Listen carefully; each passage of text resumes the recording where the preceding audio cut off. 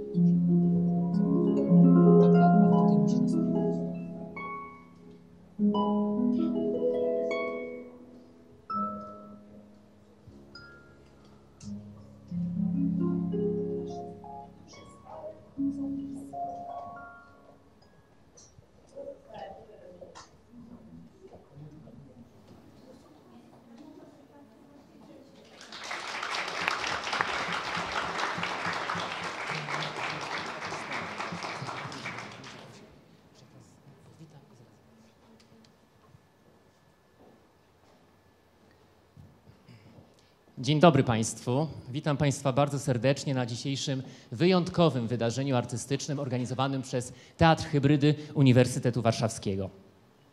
Powitały Państwa artystki Teatru Hybrydy UW w interpretacji fragmentów wypowiedzi pięciu wspaniałych polskich aktorek, artystek, bohaterek książek autorstwa Łukasza Maciejewskiego, znanego krytyka e, teatralnego i filmowego, który będzie dzisiaj również naszym gościem. Łukasz Maciejewski napisał trzy książki poświęcone kilkudziesięciu wspaniałym, wybitnym, popularnym aktorkom.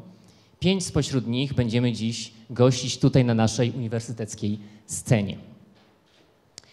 E, są to aktorki, e, które łączy bardzo wiele. Przede wszystkim talent, wspaniałe dokonania artystyczne, ale również uroda, charyzma, wdzięk, uznanie krytyków, jak również, a może przede wszystkim popularność i y, sympatia widzów, y, czytelników, słuchaczy. Y, dzisiejsi goście to gwarancja na pewno ciekawych, fascynujących rozmów, jakie będziemy z nimi prowadzić. Ale to nie jedyna atrakcja, jaką dla Państwa przygotowaliśmy. Przygotowaliśmy między innymi materiały audiowizualne. Będą to fragmenty archiwalnych spektakli teatru, telewizji oraz filmów fabularnych, w których e, nasi dzisiejsi goście, nasze bohaterki wzięły udział. Są to materiały udostępnione przez e, Archiwum Telewizji Polskiej. Będą również zdjęcia i fotosy. Część z nich mogli Państwo już zobaczyć na ekranie. Udostępnione przez Instytut Teatralny imienia Zbigniewa Raszewskiego w Warszawie oraz Fototekę Filmoteki Narodowej. My, organizatorzy, czyli Teatr Hybrydy Uniwersytetu Warszawskiego, jako instytucja e, artystyczna naszej uczelni, zadbaliśmy również o część artystyczną e, pod kierownictwem muzycznym Krzysztofa Kozłowskiego. Będzie to pięć utworów muzycznych, pięć piosenek, wykonywanych niegdyś przez y, nasze bohaterki, bądź też z nimi związane, mm, czy wręcz utożsamiane, kojarzone. Zanim zaproszę naszych znamienitych gości tutaj do Państwa, chciałbym jeszcze poprosić o dołączenie do mnie mojego dzisiejszego y, współprowadzącego, Michała Kurkowskiego. Michale, zapraszam Cię. Michał jest dramaturgiem, dramaturgiem Teatru Wybrzeże. Michale! Chyba nie słychać. Michale? Jest Michał. Michał jest dramaturgiem Teatru Wybrzeże w Gdańsku oraz doktorantem Zakładu Teatru i Widowisk e, Instytutu Kultury Polskiej, oczywiście Uniwersytetu Warszawskiego. Drodzy Państwo, brawo. Drodzy Państwo, nie chcę już przeciągać tego mojego wstępu, bo oczywiście wszyscy czekamy na naszych znamienitych gości. Szanowni Państwo, przed Państwem wspaniałe aktorki, panie Marta Lipińska. Zapraszamy Panie.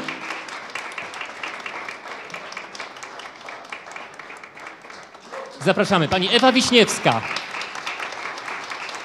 Pani Ewo, tam prosimy, na dalsze tematy, tam dalej, tutaj środkowa i tam następna. Pani Marta Lipińska, Pani Grażyna Błęcka-Kolska, Pani Marzena Trybała, Pani Jolanta Fraszyńska oraz Łukasz Maciejewski.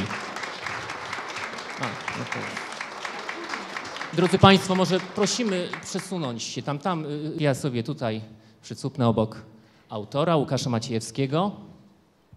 Drodzy Państwo, e, mamy pięć wspaniałych aktorek, ale złamiemy nieco przyjęte konwenanse i pierwsze pytania skierujemy do Łukasza Maciejewskiego, autora książek poświęconych wspaniałym polskim aktorkom, no i y, y, które nas zainspirowały do zorganizowania właśnie tego wydarzenia. Michale, oddaję Ci głos. Świetnie. Dzień dobry. Jeszcze raz. E, to znaczy, ja zastanawiałem się przede wszystkim nad tym, czy będzie książka o aktorach. Wyobrażam sobie, że e, pytanie jest e, dość podchwytliwe, dlatego że jakby jeszcze nie było żadnej zapowiedzi, więc to jest jakaś taka najciekawsza dla mnie w tym momencie rzeczy.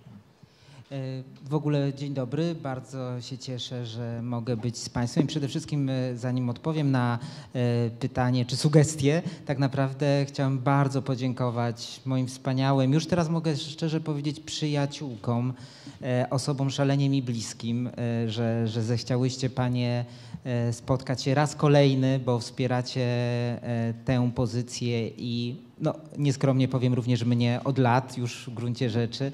W wielu okazjach e, pojawialiśmy się razem i wiem, że zawsze mogę na Was liczyć. Ja tylko powiem, że to są reprezentantki, ta książka ma trzy tomy i to są reprezentantki e, każdego spośród nich, pani Marta Lipińska i pani Ewa Wiśniewska spotkania, Jola Fraszyńska i Marzenka Trybała portrety i Grażyna Błęcka-Kolska odkrycia.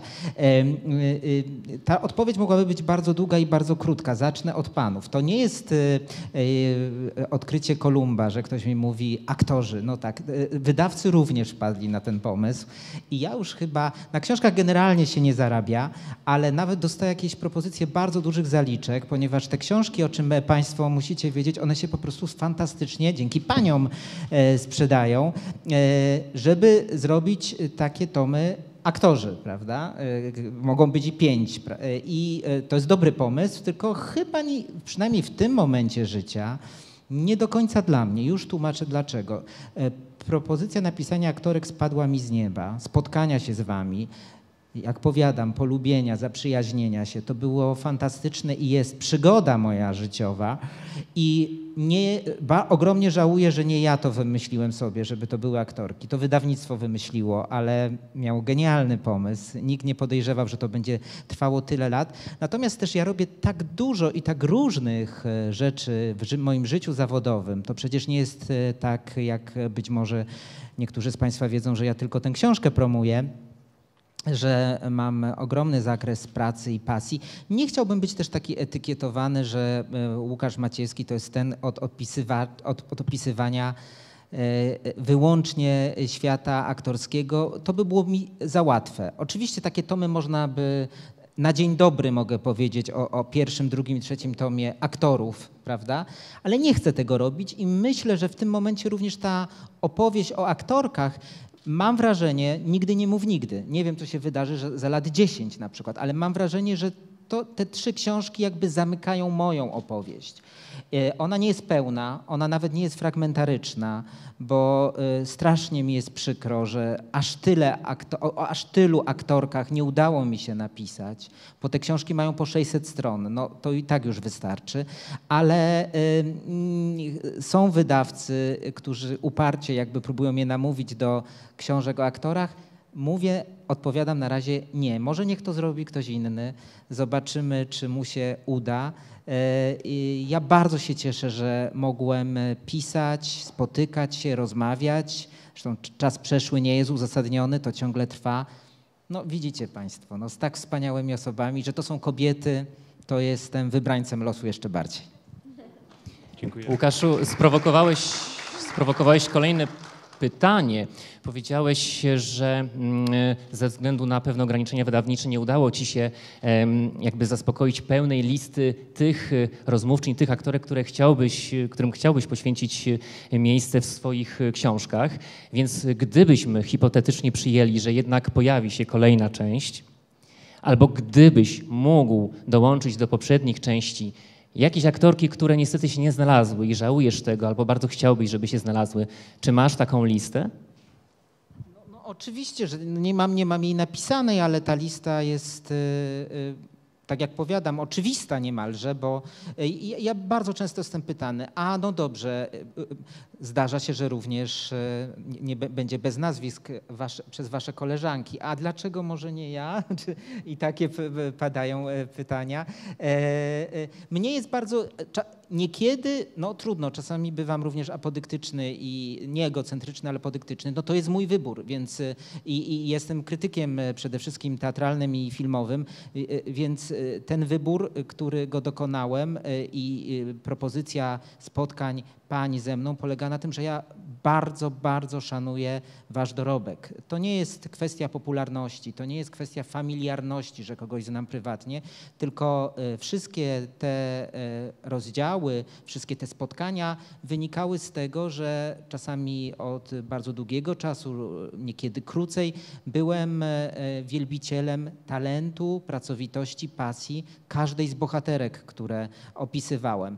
Ale jest mi bardzo przykro, że nie spotkałem się no bo właśnie książka ma tylko 600 stron z Anną Seniuk, z Jadwigą Jankowską-Cieślak, z Marią Pakulnis.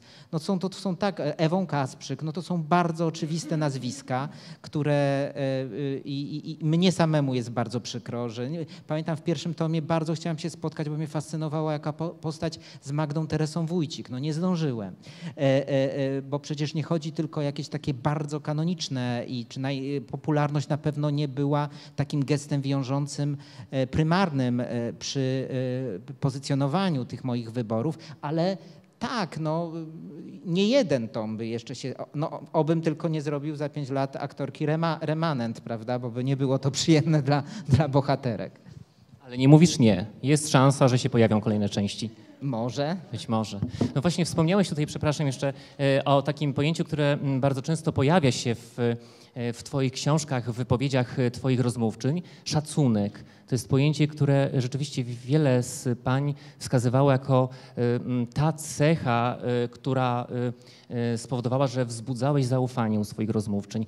Szacunek, dobre wychowanie, wysoka kultura osobista, czyli takie cechy, które właściwie dzisiaj we współczesnym dziennikarstwie są bardzo passe, bo wszyscy szukają skandali, szukają jakichś podchwytliwych, zadają podchwytliwe pytanie po to, żeby uzyskać jakieś dla siebie interesowne odpowiedzi.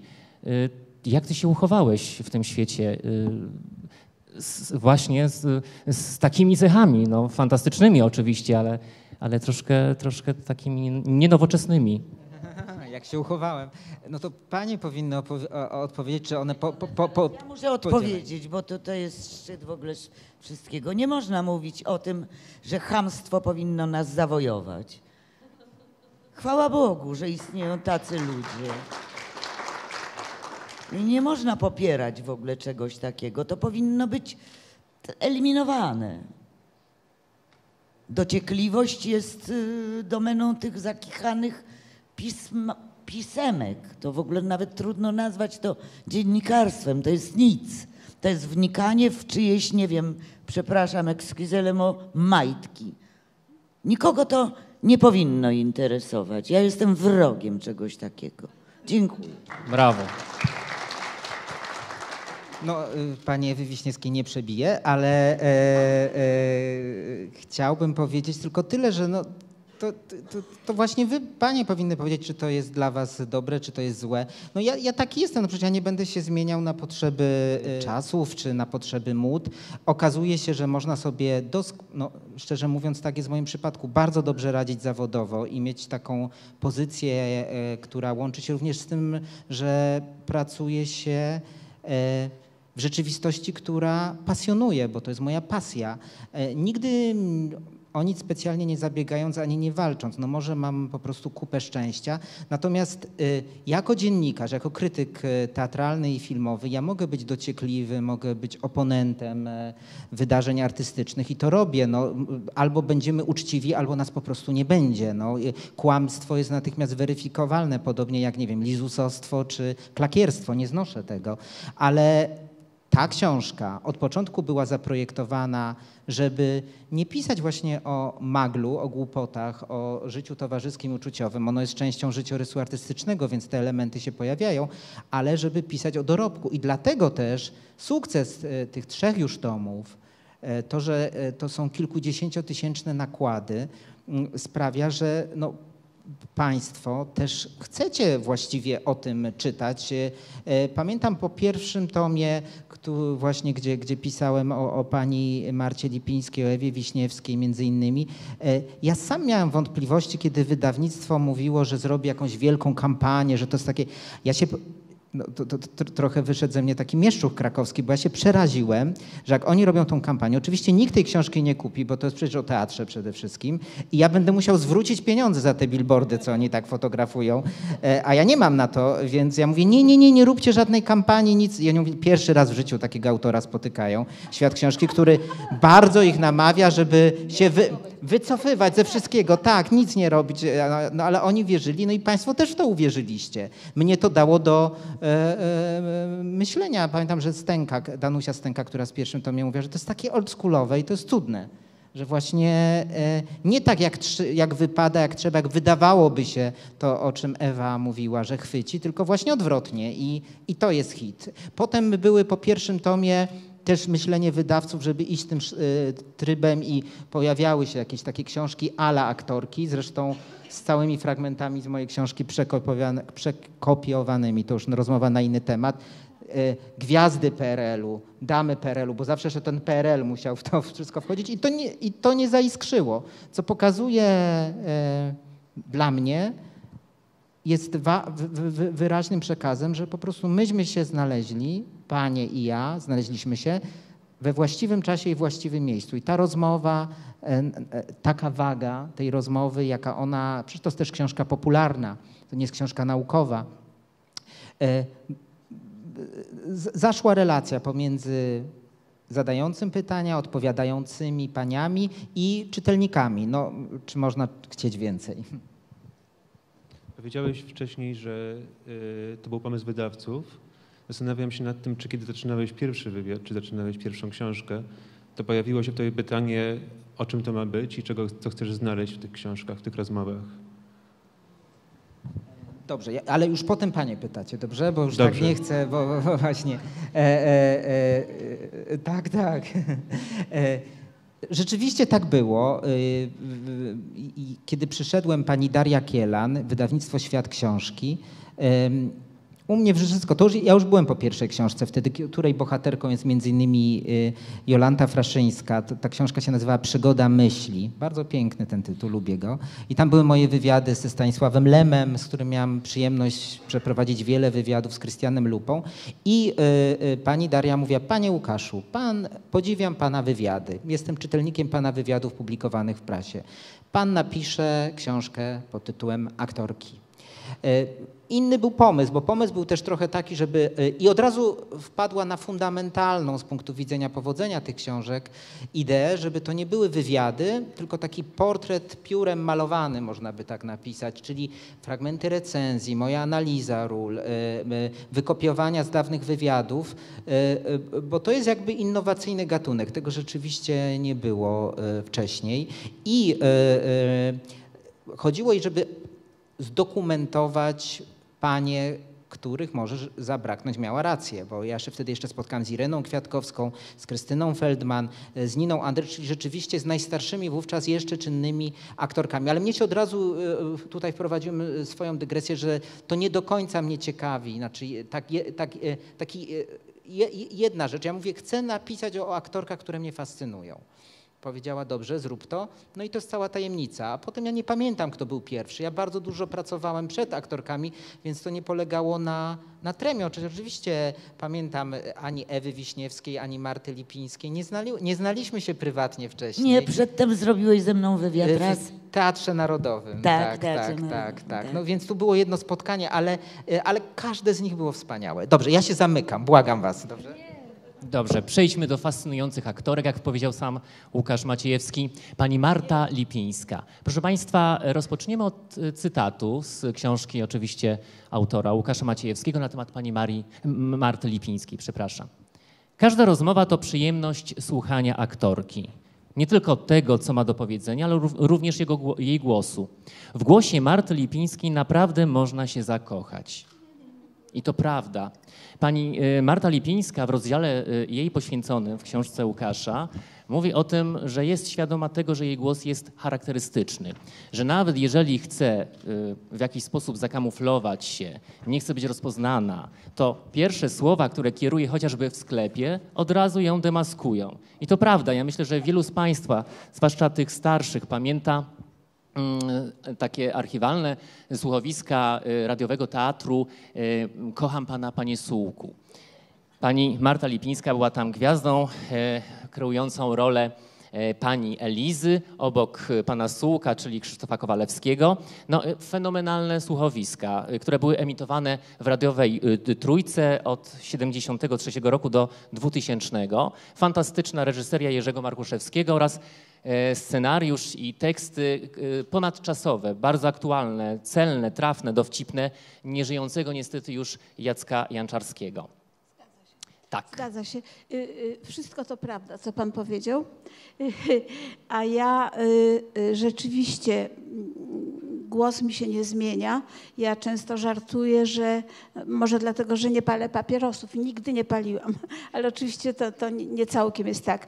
I co dziwniejsze, y, o, o ta, ta anegdotka o sklepie, gdzie jestem rozpoznawana od razu, jest taka, że mm, ja właściwie myślałam że cały czas, że ja grając Elizę w, w radiowych słuchowiskach y, y, y, szalenie zmieniam swój głos, że robię wszystko, żeby jakąś e, kreację stworzyć radiową, y, kompletnie niepodobną do mnie, bo ja z panią Elizą mam bardzo niewiele wspólnego.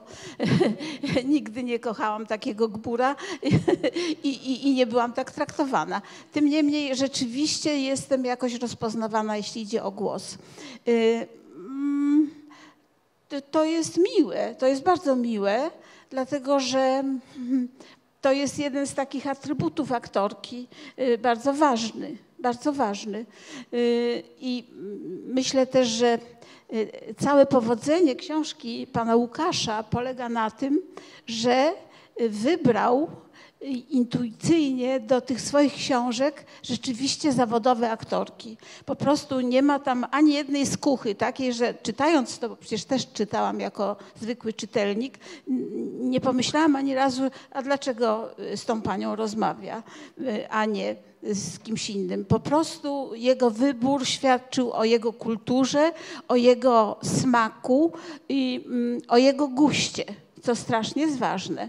Ja zresztą, co jest oczywiste, że zanim zgodziłam się na taką rozmowę, to przeprowadziłam swój wywiad i, i, i się do, podowiadywałam o pana Łukasza o wiele rzeczy. Yy, pooglądałam tygodniki kulturalne, a jakże. Poznałam wtedy jego rzeczywiście gusty kulturalny. No i wtedy się zgodziłam. Pamiętam, że tekst do adiustacji przysłał mi do Zakopanego, gdzie byłam na wakacjach. No, moje zdumienie nie miało granic, kiedy to było tak dobre. Po prostu zawsze pracujemy nad poprawkami rozmaitymi, jeśli idzie o rozmowy, a tutaj po prostu zatkało mnie z tego powodu, że jakoś tak wspaniale to zrobił. Po prostu prawie nie miałam pracy przy tym. A taką najkrótszą recenzję może Państwu powtórzę, kiedy y, przyszedł dzień, kiedy książka została wydana. I tego dnia, nie pamiętam kiedy to było dokładnie, y, tego dnia rano zadzwoniła do mnie i to rzeczywiście rano, to mogła być, nie wiem, dziesiąta rano, y, zadzwoniła do mnie Zosia Kucówna, z którą nie miałam takich towarzyskich, bliskich stosunków. Y, bardzo rzadko dzwoniłyśmy do siebie, najwyżej spotykałyśmy się przy, przy okazji grania w jakiejś jednej sztuce w, w garderobie. I ona zadzwoniła do mnie i powiedziała: Marto, przeczytałam książkę Łukasza Maciejskiego. Jakie ty miałaś piękne życie. Więc y, rzeczywiście y, tak to ujął i tak ze mną rozmawiał, że ja chyba dużo o sobie opowiedziałam mu, y, czego bardzo nie lubię robić. I zawsze człowiek ma całą, całą gamę takich opowieści o sobie, które chowa tylko dla siebie i rzadko się otwiera. I tutaj jest jedna wielka zasługa pana Łukasza, że jednak sprowokował do takiej rozmowy, że ja rzeczywiście na tyle opowiedziałam o sobie dużo, że Zosia była tym zachwycona, że się, mimo że myśmy w kilku sztukach grały razem i siedziały w tej samej garderobie, wtedy się przecież rozmawia też na rozmaite te, tematy, więc, ale nigdy jednak tak się nie otworzyłam, żeby ona by, y, wszystko o mnie wiedziała. Pewnych rzeczy nie wiedziała i dopiero się y, z tej rozmowy i z tego wywiadu dowiedziała o mnie. Zosiu, dziękuję Ci jeszcze raz za ten telefon.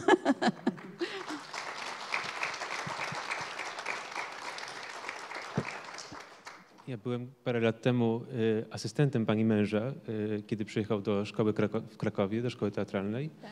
I, y, I tak pamiętam, że był jednak takim człowiekiem niezwykle cichym, spokojnym i nie było możliwe zapytać go o teatr współczesny dzisiaj.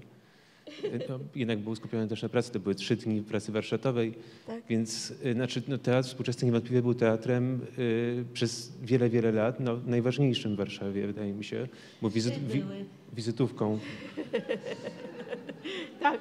No, ja Trzy myśl... były teatry najważniejsze. Tak, tak. tak jest. Tak. No. Ale właśnie, ale chciałem zapytać o teatr współczesny. Oczywiście, przepraszam, Dobrze. tak, ale tak, akurat tutaj jestem... Ateneum powszechny i Tak jest. Tak. teatry liczące się. Tak. tak jest. Na poziomie. E, ale chciałem się zapytać, jak, jak, jak e, po tych 30-40 latach pracy w tym teatrze, czy 50 latach pracy w tym teatrze właściwie, e, widzicie teatr dzisiaj, ten, który was otacza? Znaczy, czy jak się wobec niego... Ogólnie teatr, czy mój teatr? teatr? Wasz teatr wobec teatrów, tego, co się dzieje w Warszawie, wobec tej rewolucji, która od tej przemiany? Tak, trudne pytanie, chociaż ja y, y, wiem, co odpowiedzieć, ponieważ y, uważam, że największą zaletą naszego teatru współczesnego jest to, że, że tak powiem, trzyma klasę. Po prostu widz, który kupuje bilety, przychodzi do nas, nie, nie ryzykuje zbytniej awangardy I, i, i takiego teatru, które który może nie, nie, nie rozumieć. I myślę, że mm, y, to jest bardzo dobrze, że jest na mapie Warszawy taki teatr, y, który czasem niektórzy dosyć tak y, czy ja wiem, nazywają tak, że to jest taki teatr mieszczański, taki inteligencki, ale bez, bez właśnie jakiegoś, nie wiem, takiego, bez takich ambicji, że, że, żeby coś tworzyć absolutnie nowego. Myślę, że takie teatry w Warszawie są i yy, chwała Bogu, że są różne teatry.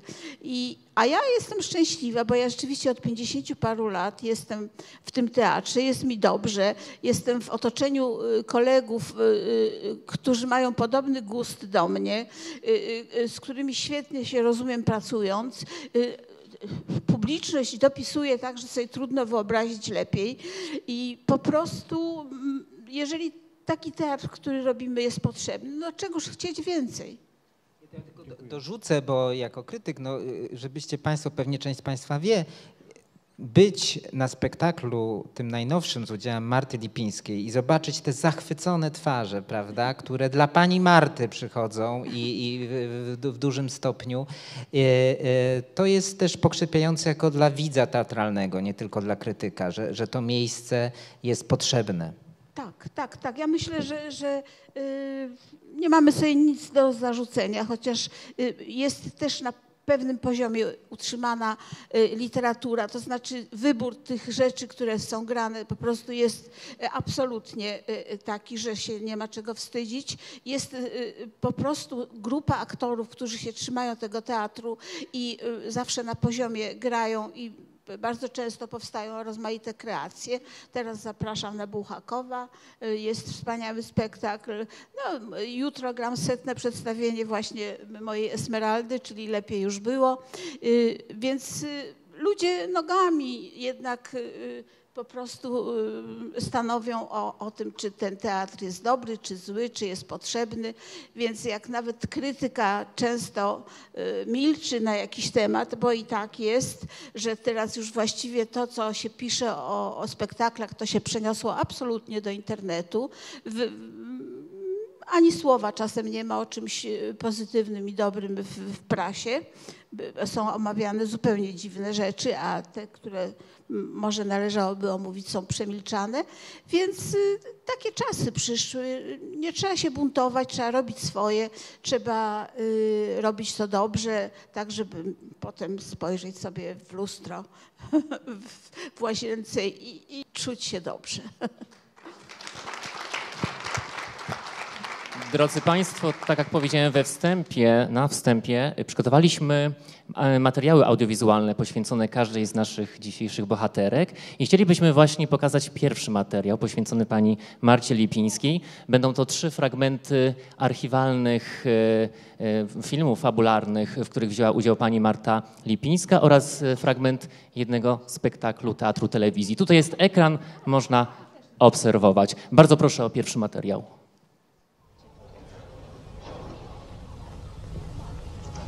No dobrze. Ale jak ty sobie to właściwie wyobrażasz? Tutaj masz mieszkanie, stosunki, znajomych. W końcu ja tu jestem. Nie pomyślałeś o tym? Co ja tam będę robić? Coś tam dla ciebie znajdziemy. Przecież nic cię nie goni. Pojedziemy, rozejrzymy się. Poszukamy. Ja naprawdę mało nie zarabiam. Też. Nie rozumiem. Ja też coś tu robię. A ty chcesz, żebym chodziła po zakupy? Odbierała ci pensję na pierwszego i czytała ogłoszenia o pracy. Ja tu mam pracę. I takiej w Szczecinie nie dostanę. Tu mam ojca, dom, wszystko. A zresztą cóż ci się zdaje?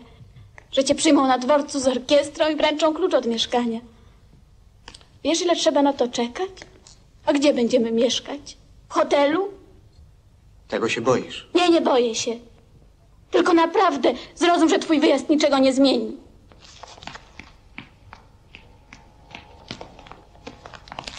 Hanka. Hanka, poczekaj. To śmieszne, że właśnie teraz nie możemy się zrozumieć. Teraz, kiedy to jest ważne. Może właśnie dlatego? Do widzenia, Grzegorz. Ale... Napiszę do ciebie. Napisz. Będę przyjeżdżał. Proszę, przyjeżdżaj. Słuchaj, ja niczego nie cofam, niczego, co powiedziałem. Bardzo jesteś pewny siebie. Nie, niczego nie jestem pewny. Do widzenia. I oto, chwała Bogu, jesteśmy w komplecie autonomii Zygmuntowiczu. A to dopiero pech. Jak im to wszystko dyplomatycznie ułożyć. A to moje dzieci. Szczerze mi pani żal, Nadio Pietrowna.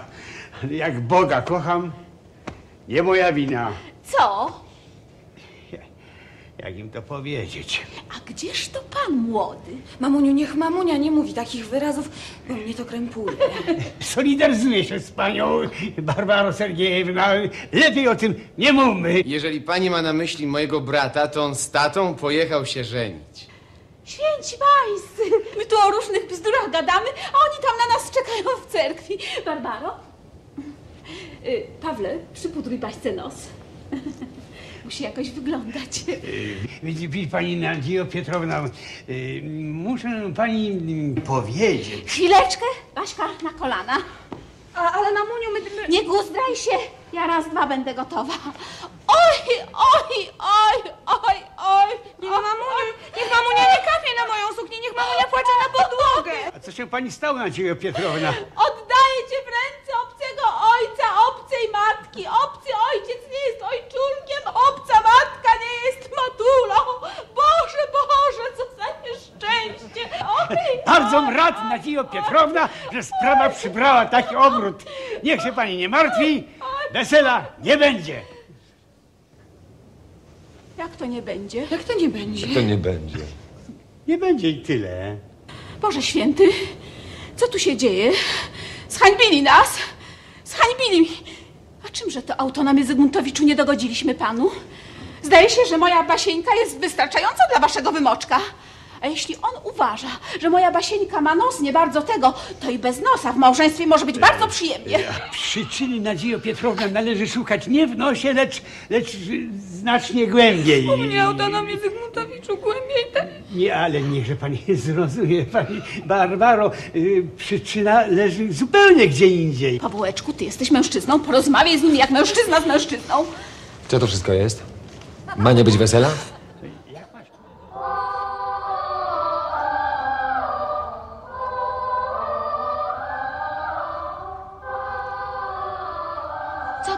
Piotrusiu? Dlaczego nie idziesz śpiewać w chórze? Ja nie umiem tak śpiewać. A o jakie chodzi pani piosenki? O poważne? No, raczej tak.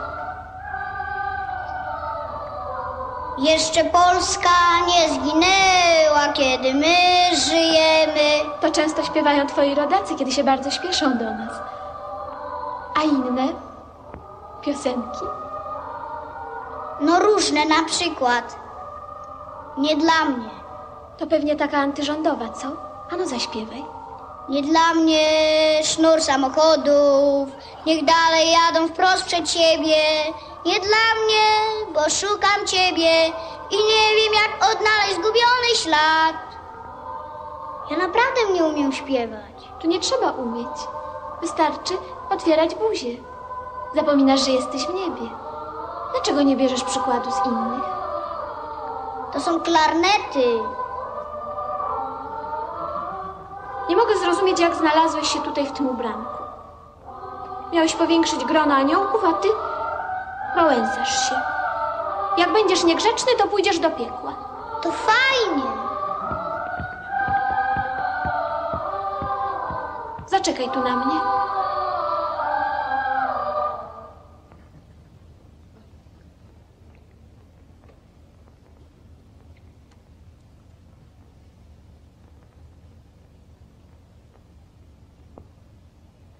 Chłopaki, chodźcie, pobawimy się w Zorro.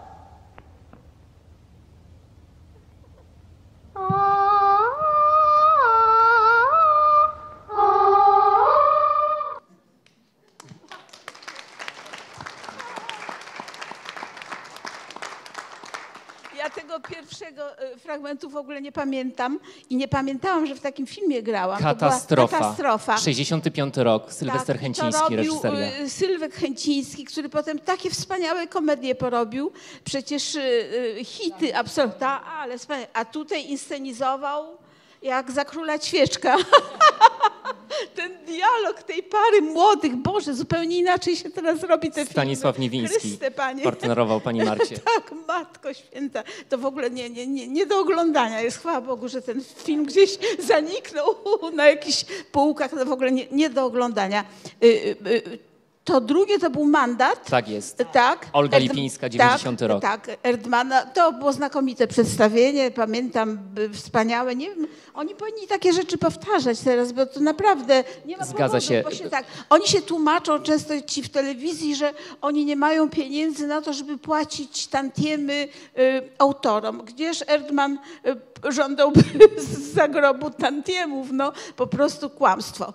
Y, to, to było drugie. A trzecie, y, śmieszny taki film Stasia Różewicza, którego szalenie kochałam, ponieważ y, u niego debiutowałam w Głosie z tamtego świata. 62 tak, w, jeszcze będąc studentką szkoły, że to, jakiś casting wygrałam i w czasie wakacji kręciłam film.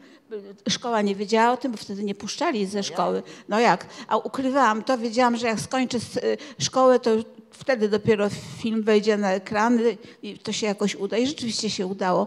Natomiast y, y, zawsze już potem w każdym filmie u Stasia Różewicza jakąś y, rulkę grałam i tutaj w tym, w tym Piekle i Niebie to był taki miły scenariusz Kornela Filipowicza, prawda?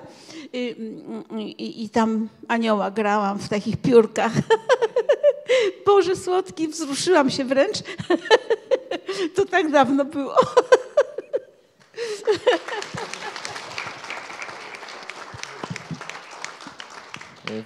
Wspomniany Stanisław Różewicz, y, któremu pani zawdzięcza właśnie debiut y, y, filmowy, jeszcze będąc studentką Warszawskiej Szkoły Teatralnej, ale to nie jedyny ważny w pani karierze, w pani drodze zawodowej reżyser.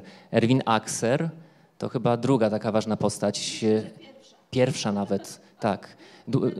Dłu- Długoletni dyrektor Teatru Współczesnego. zaangażował jeszcze wtedy, kiedy byłam w szkole. Na trzecim roku zaczęłam próby do Trzech Sióstr i, i, i tak zostałam w tym teatrze i tkwię w nim do dzisiaj. Y, y, Myślę, że y, bardzo ważne jest, jak się zaczyna i z kim się zaczyna i w jakim towarzystwie się zaczyna i mam mu szalenie dużo do zawdzięczenia i temu teatrowi, y, który mm, mój smak wyrobił, mój gust. y, y, Wiedziałam, że jeżeli coś z mojej pracy zaakceptuje Erwin Akser, to, to będzie to. Miałam pełne zaufanie. Po prostu Panie świeć nad jego duszą. I to jest ktoś najważniejszy chyba na mojej drodze artystycznej. Pani Ewa Wiśniewska. Również przygotowaliśmy cytaty dotyczące pani Ewy Wiśniewskiej, które przytoczę. Wrażliwa i ostra, piekielnie inteligentna. To powiedziała wielka poetressa Agnieszka Osiecka. Pracuje jak Mercedes, jest bezawaryjna. Edward Dziewoński, słynny Dudek. Ewa to jest chłop, normalny chłop w spódnicy z charakterem kolega z Teatru Ateneum, Marian Kociniak. Buty muszą być piękne, mężczyzna dowcipny, na deser bewsztyk wielki i krwisty. Pani Ewa Wiśniewska.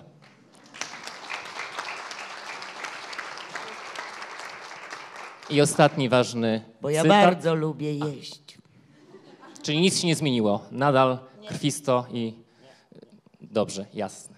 Świetnie. To perfekcjonistka, płynnie przechodząca z farsy do dramatu, z musicalu do oratorium.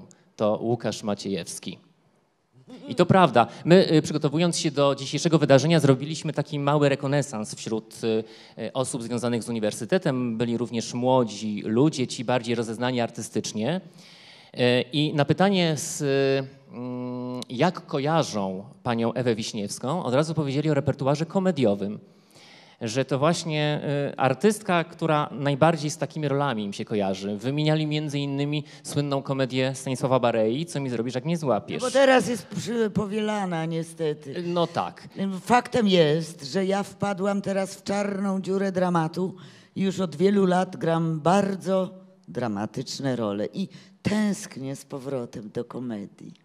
Komedii, czyli taki płodozmian, żeby był, prawda? I Oj, wielkie tak, role. tak, tak. Dramatyczne, a z drugiej strony lekki, przyjemny repertuar. No Nie właśnie. jest lekki. Nie jest lekki.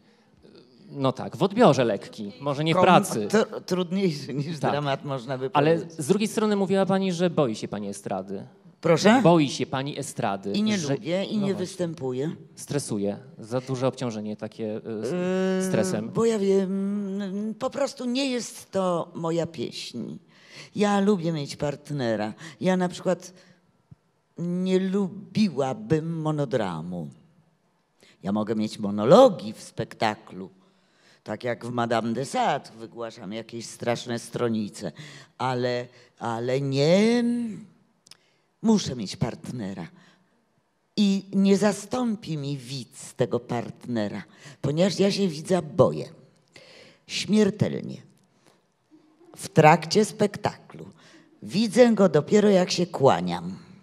A przedtem nie patrzę. Mam takich kolegów, którzy na przykład podglądają przez kurtynę i mówią, o popatrz, jest ten, ten. To jest dla mnie nieszczęście, piekło absolutne. Nie chcę wiedzieć, kto siedzi. To jest dla mnie zwierz jakiś straszliwy, groźny i żarłoczny. I dopiero potem się rozluźnia, jak już skończyłam Ale tym, rolę. Tym pani najważniejszym mistrzem właśnie w gatunku komedii to był Edward Dziewoński. Między innymi Między też, innymi. oczywiście, tak. Słynny dyrektor i założyciel Teatru Kwadrat, w którym tak. pani w latach 70. y, y, miała Przebywałam angaż. tam dwa i pół roku. Dwa i pół roku, ale już było za dużo, prawda? Za dużo, bo z kolei była to tylko komedia i farsa. Z kolei. Szczęśliwie telewizja mi udostępniała dramatyczne role, więc jednocześnie grałam w teatrze telewizji role inne. Ale teat- teraz Teatr Narodowy, więc znowu w drugą stronę brakuje, Teraz prawda? jestem znowu w ciężarze straszliwym wszystkich I czeka pani na propozycję. Proszę? Czeka pani na propozycję takiego repertuaru, czy już coś jest na horyzoncie? Y, Nie, na horyzoncie wolałabym, żeby nic nie było, dlatego że gram w pięciu różnych Ojej. sztukach i, i to wszystko są dramatyczne pos- role. Więc nie, jeżeli to komedia. Jasne. Drodzy Państwo, to może zaprosimy na kolejny materiał, tym, tym razem poświęcony Pani Ewie Będzie komedia tutaj? Tak, będzie płodozmian. Będzie jedna dramatyczna, poważna rola taka dramatyczna i dwie komediowe. Piękna. W sumie trzy fragmenty archiwalnych spektakli teatru telewizji. Myślę, że perełki takie e, odgrzebane, mówiąc kolokwialnie, właśnie w archiwach e, telewizji polskiej. Prosimy. Pani mnie jednak bierze za kogoś innego. O nie. Ja panią dobrze znam. Ostatni raz widziałam panią na pogrzebie. I Ole też. Co to znaczy Ole? A cóż to takiego dziwnego, że mówię o niej Ola? Moja córka zaraz po pogrzebie wyjechała na studia. Tak, ona może sobie studiować za granicą, a my? A my? Kto pani właściwie jest? Jestem Ewa Łasztówna. To mi nic nie mówi. Jak to nic pani nie mówi? Pani wdowie po Krzysztofie Nielewiczu? Pani jest może jakąś jego kuzynką? To był mój ojciec! Jak to ojciec? No ja jestem jego córką!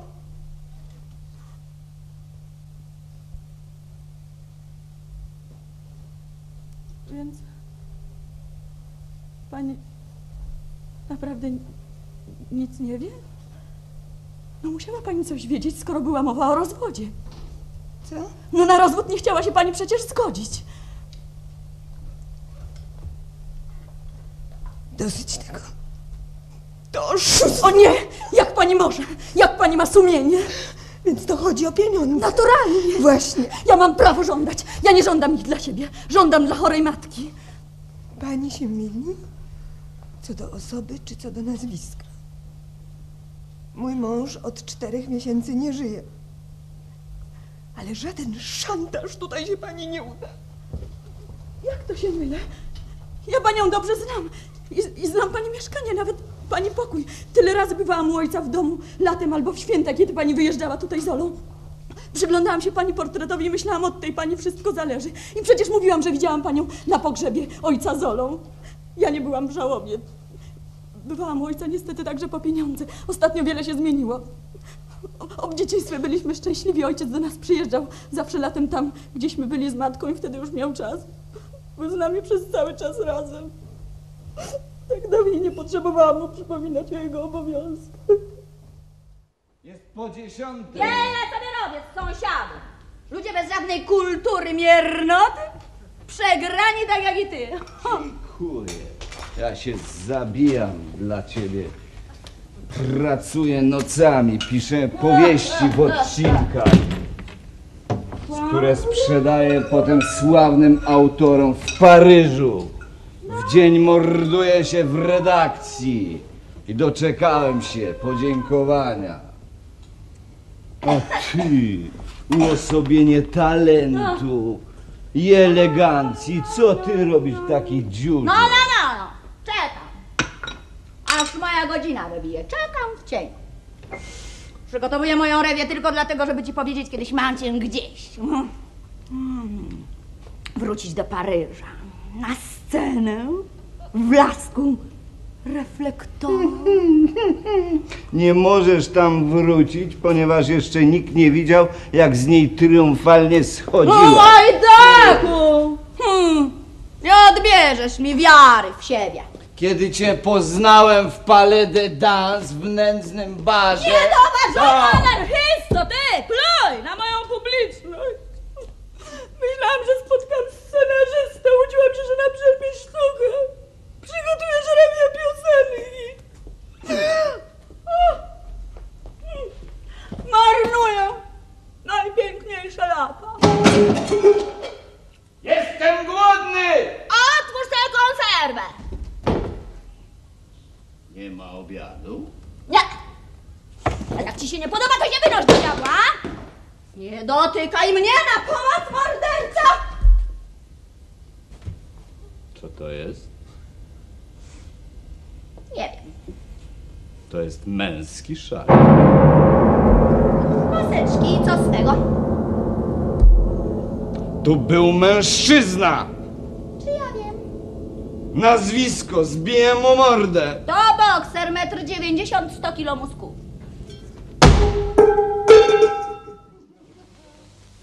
Nie mam najmniejszego mm, pojęcia, jak się do tego wziąć. Jak to? To przez swoją nieudolność sprowadziła mi pani tego ducha na kark. I teraz siedzi tu spokojnie i mówi, że nic na to się nie da poradzić? Grunt to szczerość. Ależ to jest oburzające! Powinna się pani oddać w ręce policji! Pani się za daleko posuwa. Za daleko? A pani wie, co pani tutaj narobiła przez swoją amatorszczyznę? No, to- to- Traktowałam to zawodowo od dziecka, proszę pani. Nie mogę tolerować słowa A amatorszczyzna. jak inaczej można nazwać wywoływanie złośliwych duchów i niemożność odesłania ich na tamtą stronę? Byłam w transie.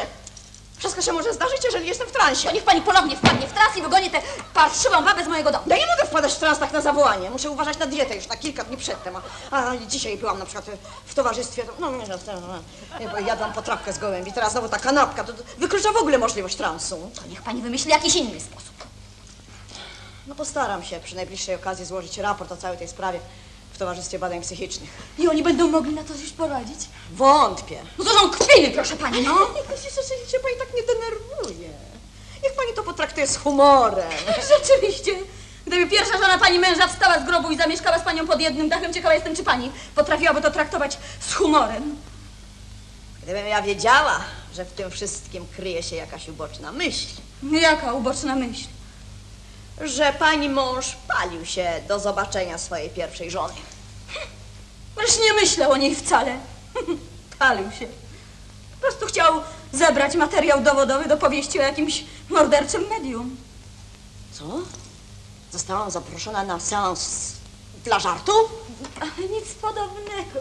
On po prostu chciał poznać zawodowe triki. Zawodowe triki?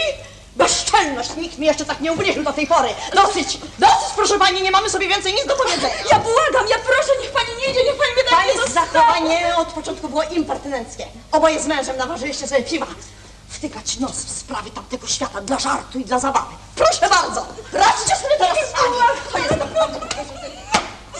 No niech to diabli wezmą.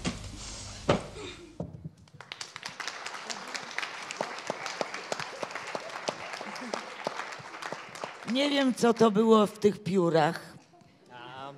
To, był, y, to była spółka morderców, 76 rok, reżyseria Aha, Edward y, bo Dziewolski. pierwsze to był Dom Kobiet. To była moja pierwsza rola w telewizji, w 66 teatrze rok. telewizji, Tak. tak. Z kolei to ostatnie, no to był seans Kowarda. Tak, tak, A 71 tamtego rok. właśnie w tych piórach nie mogłam rozeznać. Tak, spółka morderców Roberta Tomasa. E, Dom kobiet to, to No przecież fantastyczna sztuka dla e, kobiet.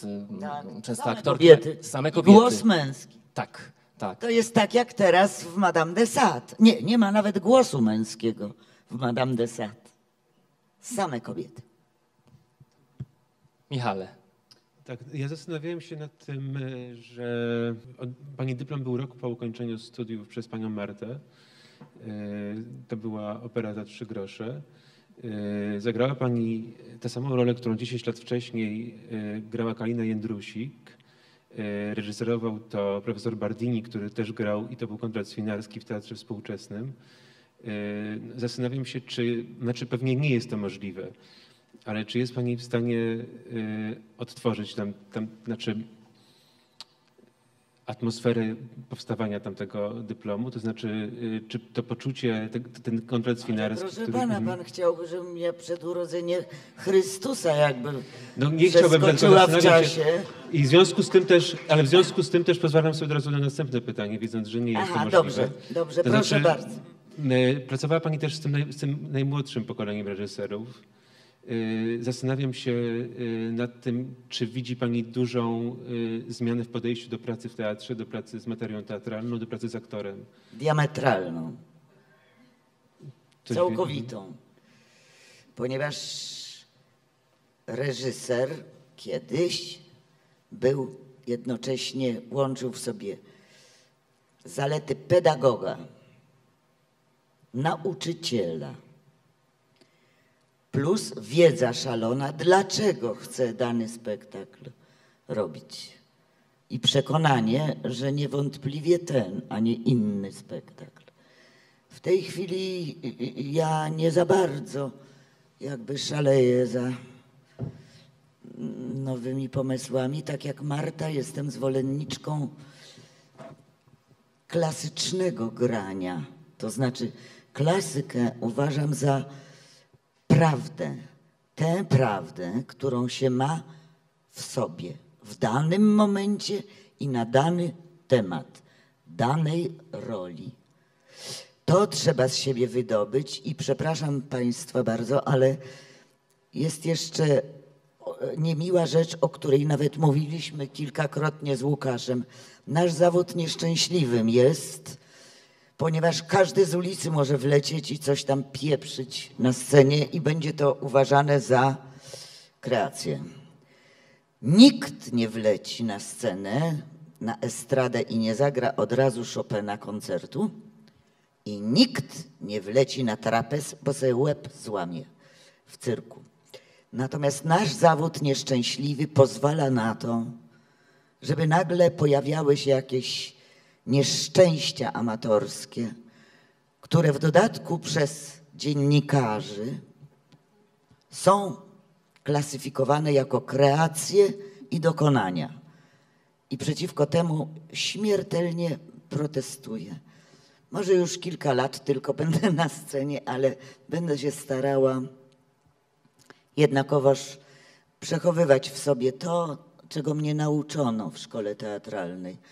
To znaczy właśnie to, o czym Marta też powiedziała, żeby spojrzeć sobie w oczy w lustrze w łazience sam na sam, że się nie dało pewnej części ciała, że się starało być fair w stosunku do pracy, którą się wykonuje, nie dość na tym w zgodzie ze swoim wnętrzem na temat postaci, którą się wykonuje.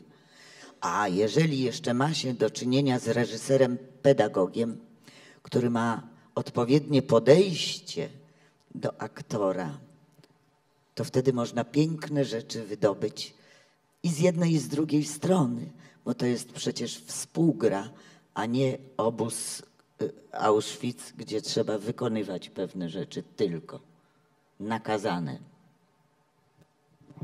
Dziękuję. Może ja coś wesołego powiem, bo tak jakoś znów... Nie, nie, żartuję. Nie, nie. Drodzy Państwo, to może zaprosimy teraz na mały oddech muzyczny, ponieważ organizatorami jest Teatr Hybrydy Uniwersytetu Warszawskiego. Nasi artyści czekają już e, w pełnej gotowości. Chcielibyśmy przedstawić dwie pierwsze piosenki związane z dwiema pierwszymi naszymi bohaterkami, panią Martą Lipińską i Ewą Wiśniewską. Bardzo prosimy.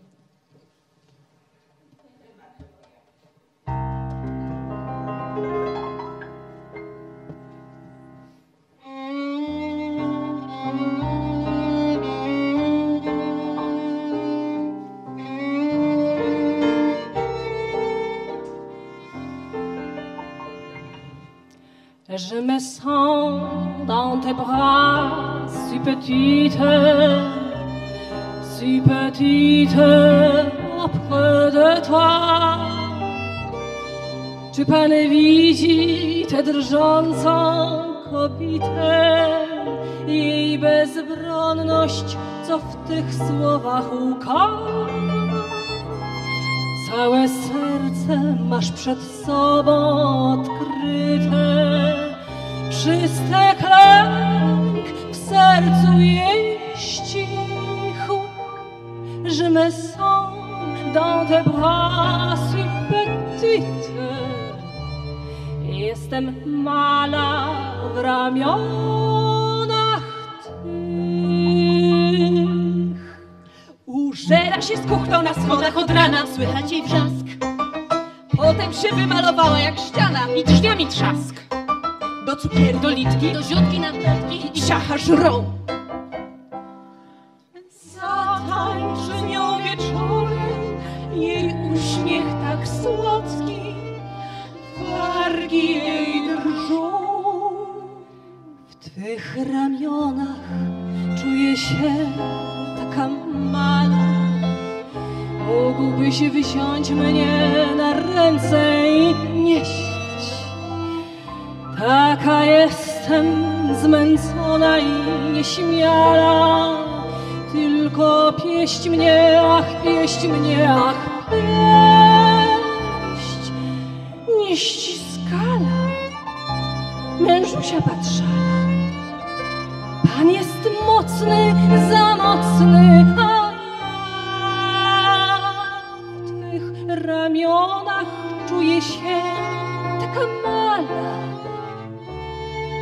Si petite auprès de toi. Gdy widzi, że litka ma nowe źrebaki, zalewa ją krew. Przy brydżu szachruje na wprost daje znaki, żeby wyjść w trefle. Mężowi wymyśla, przekrew do cholery, futro mi kup. O piątej przychodzi do twej garsonierii i ukału twych stóp. Jakaś jestem przy tobie taka mala. Taka mala. Taka mala to jej trik, to jej lep. Proszę pana, niech się pan nie rozpala. Niech pan weźmie coś ciężkiego i w łeb. Ona duża, proszę pana. Ona krowa. Czy pan słyszy, co w głosie mym łka?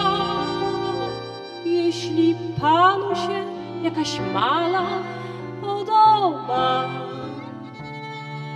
taka mala, proszę pana, to może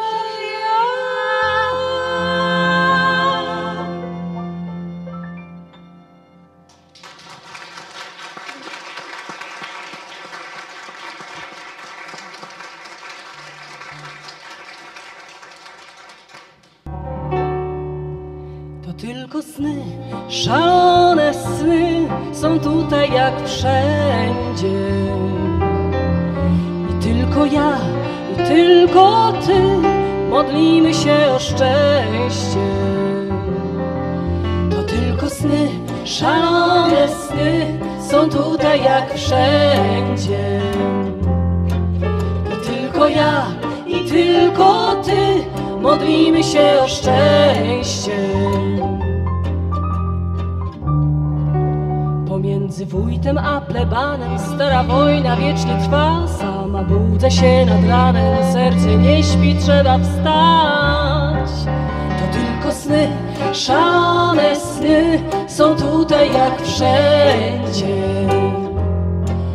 I tylko ja, i tylko ty modlimy się o szczęście. Znów pobiegłam na kres świata, może dalej, czyli tu, a tutaj życie, sen wariata, wreszcie życie jak ze snu. To tylko sny, szalone sny są tutaj jak wszędzie. I tylko ja, i tylko ty modlimy się o szczęście. To tylko sny, szalone sny wszędzie.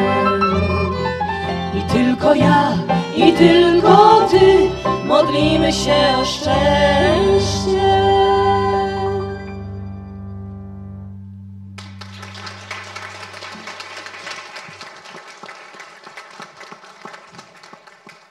Taka mala oczywiście z repertuaru Mariana Hemara, piosenka, którą pani Ewa Wiśniewska wykonywała w słynnym spektaklu Teatru Ateneum z 1987 roku. Ja tylko powiem sekundkę, żeby nie zajmować już czasu. Mianowicie właśnie w tymże spektaklu yy, konferencjerkę, cudowną zresztą, napisaną przez siebie samego, prowadził Wojtek Młynarski. Reżyser i scenarzysta. I no, reżyserem był też Janusz, yy, ten, choreograf znaczy nasz? Józefowicz. Józefowicz, przepraszam, tak. No właśnie, także razem oni. Natomiast, natomiast to był pierwszy numer, że Messin, ja się trzęsłam jak barani ogon. Miałam taki, na biało byłam ubrana i miałam lisa białego, którego się trzymałam usilnie, bo nie miałam czego. W środku sceny, więc ten lis był moją opoką całkowitą. A Wojtek miał taki straszny zwyczaj, jak każdy genialny, genialny, ale amator. Mianowicie on przed konferencjerką i rozsunięciem kurtyny przez dziurkę patrzył, mówi Ewka, zobacz, jest tam ten, jest tam ten. Ja już byłam w ogóle chora, chora. Właśnie nadawał mi, kto siedzi mi na widowni. Straszne. Miera Ziemińska, Jerzy Waldorf między innymi. Tak, tak, tak, nieszczęśliwa. I drugi utwór. I drugi utwór to oczywiście ścieżka muzyczna z y, fantastycznego serialu Rancho, w którym pani Marta Lipińska przez 10 lat grała jedną z głównych ról, Michałową. Uwielbiany serial. Drodzy Państwo, kolejna wspaniała aktorka, pani Marzena Trybała. Również rozpocznę cytatem. Urodziwa, zmysłowa, ale przecież także delikatna i nadwrażliwa. Staje się siostrą, przyjaciółką, coraz częściej także matką, opiekunką. To wszystkie kolory kobiecości. Kto to powiedział? Łukasz Maciejewski, tak. Kwintesencja i kobiecości, i wspaniałej aktorki pani Marzeny Trybały. Ale właśnie, e, urodziwa, ale to chyba ta uroda, ym, ta cielesność była tym największym problemem na początku pani kariery zawodowej, która spowodowała, że nie zagrała pani w fantastycznym filmie, który przyszedł do historii polskiej kinematografii. Zagrał ktoś inny, Stanisława Celińska. Krajobraz po bitwie w reżyserii Andrzeja Wajdy.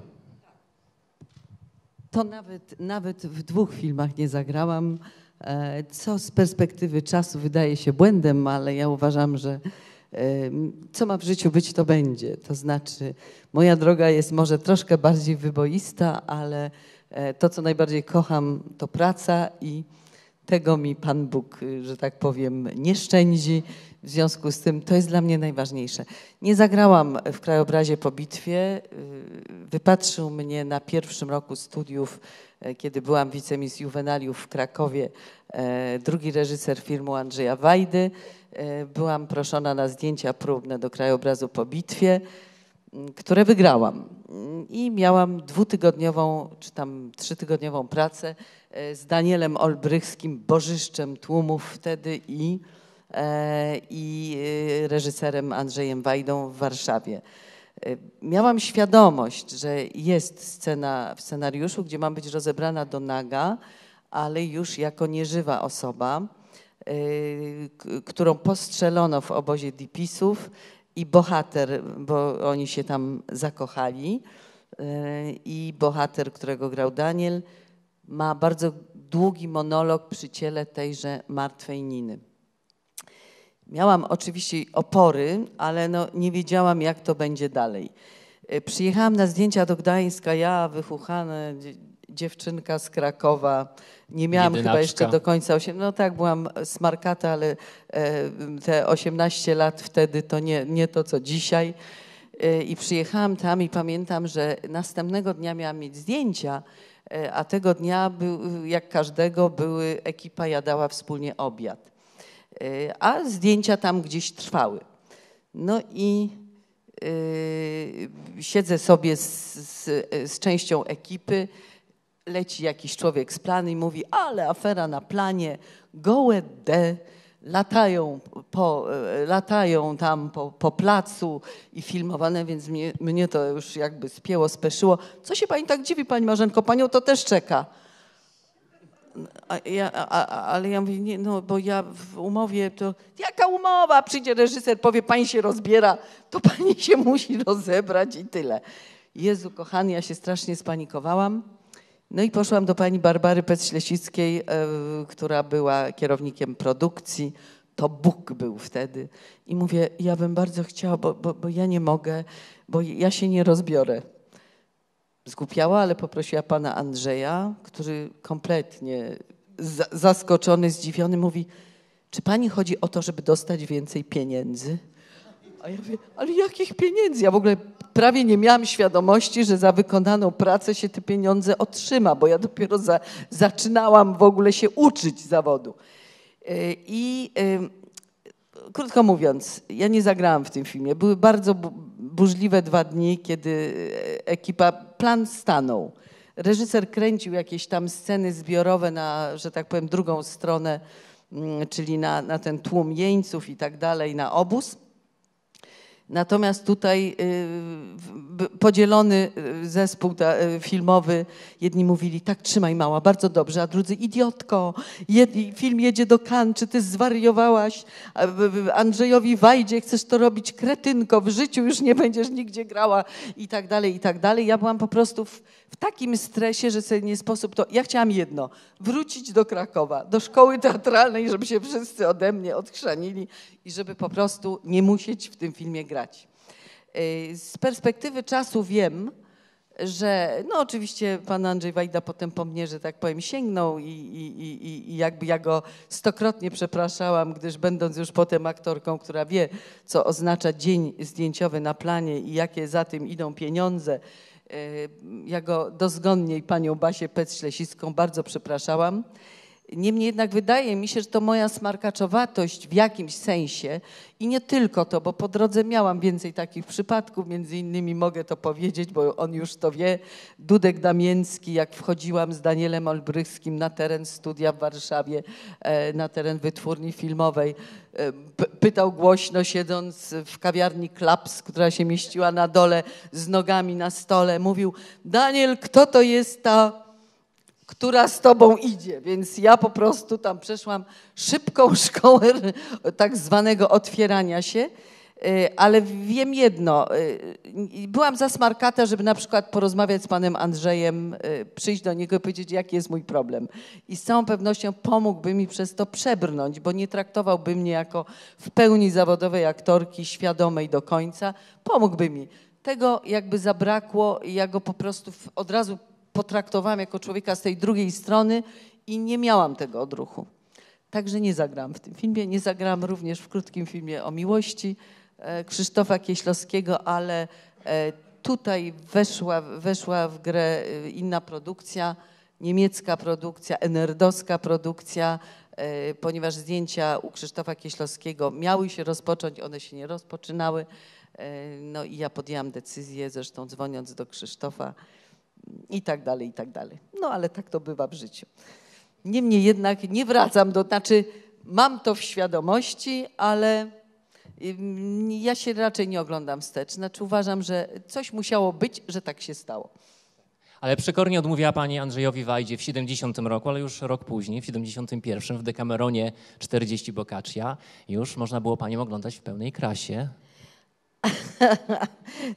To znaczy zaproponował mi to reżyser Jan Budkiewicz. Drugi reżyser. Drugi reżyser filmu Andrzeja Wajdy Krajobrazu po bitwie. E, W tym czasie byłam już po tak zwanych ośmiu miesiącach szkoły teatralnej, w której no, nie tylko uświadomiono mi, ale zrozumiałam, że moje ciało jest e, częścią, e, częścią jakby warsztatu, który posiadam i ono, ono wykorzystane w, w konkretnej sytuacji, e, no po prostu przełamałam się i zrozumiałam to.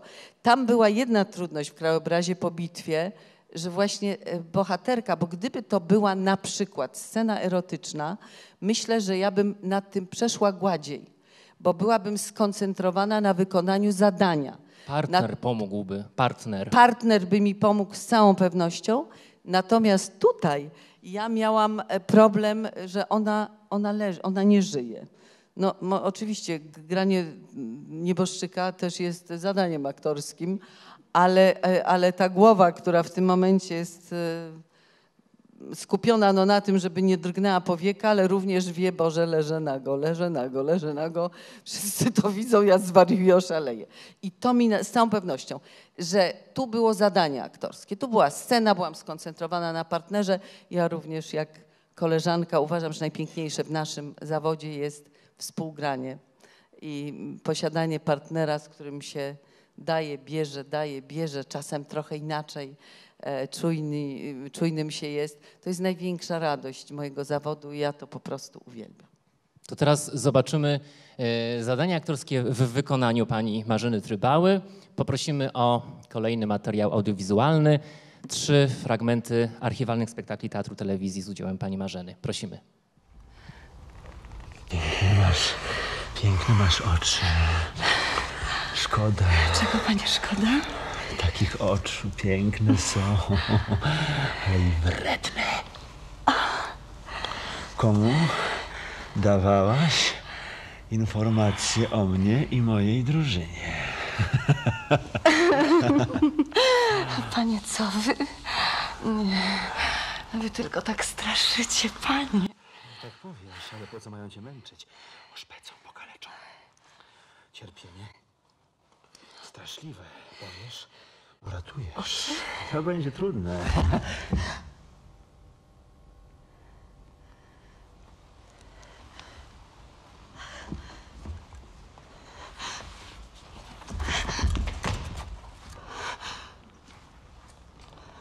Jeśli wybiegniesz stąd, już nic nie będę mógł dla ciebie zrobić.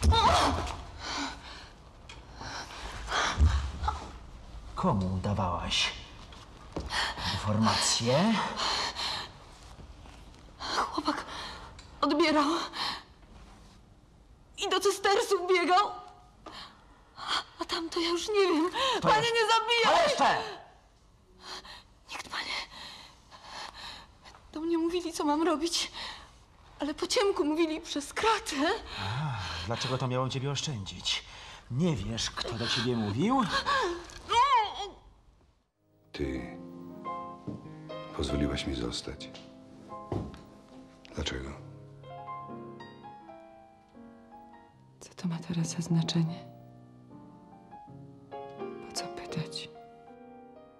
Płacą mi za zadawanie pytań.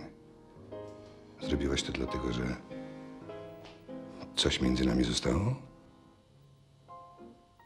Nic nie zostało. Kiedyś tak. Byłam ja. Ale ty nie wróciłeś.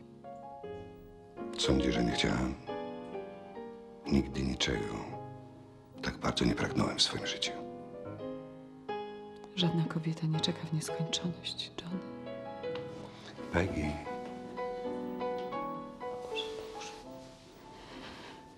Ręce przy sobie. Nie żartuję. Przez ciebie czuję się podle.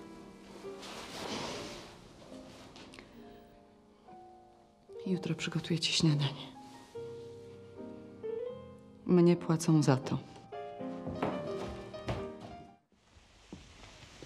Pewnego dnia spotkałam, oddając wizyty, kilka osób zacności wprost niepospolitej, które prawdziwej cnoty, podnosząc zalety, o tobie parę uwag wtrąciły.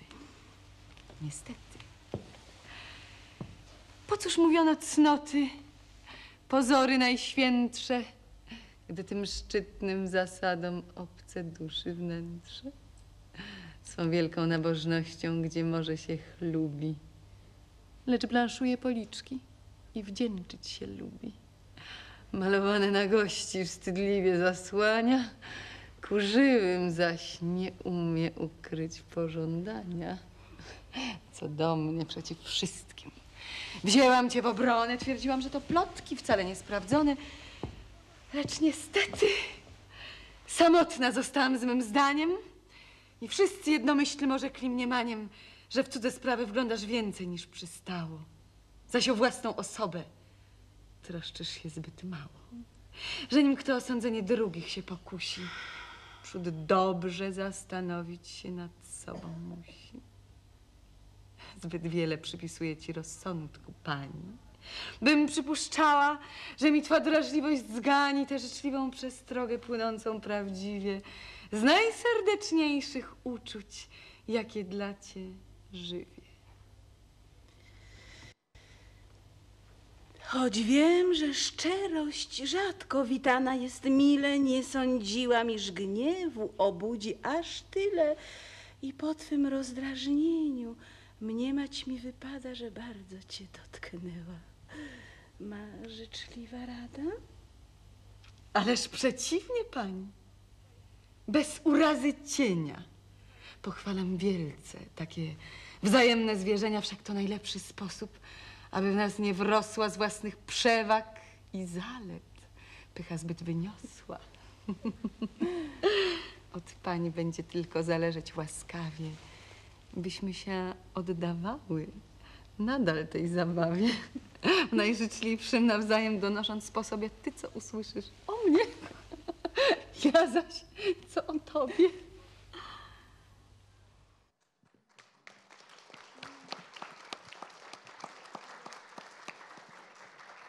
Powiem tylko, że cierpię. Ja siebie nie znoszę oglądać na ekranie. Nie znoszę, po prostu już nie cierpię. Natomiast y, jestem zaskoczona, czy to drugie to jest z filmu Marka Nowickiego? Pusta kołyska to jest spektakl teatru telewizji. Janusz Majewski, Komp- y, y, tak? 94 A, rok. już wiem, już wiem, już wiem. Podobnie jak Mizantrop, 84. Mizantrop, oczy- Mizantropa reżyserii- oczywiście pamiętam oraz pierwszy spektakl z Krakowa, Tak. którego nigdy nie widziałam. Także Zapis to patrzyłam, Hermana. bolało mnie, ale patrzyłam, bo nie pamiętałam już w ogóle, tego nigdy nie widziałam. No i to by było... Zapis, zapis ojca Hermana, 85 rok. Tak. Tak, Jerzy Krasowski, reżyseria. Tak. Tak, to był Kraków. To mo- e, trzecie to Mizantrop Moliera. Mo- Tak. Mizantrop to była pierwsza moja rola, tylko szybciutko powiem, to była... E, e, Kiedyś młode pokolenie tego nie pamięta. e, Żeby kupić pralkę, to trzeba było być albo młodym małżeństwem, e, no, albo mieć jakieś chody i żeby przysłali z Niemiec czy skąd inąd. Albo pojechać. Aha, że od górników można było. W każdym razie ja stałam z moją przyjaciółką w kolejce.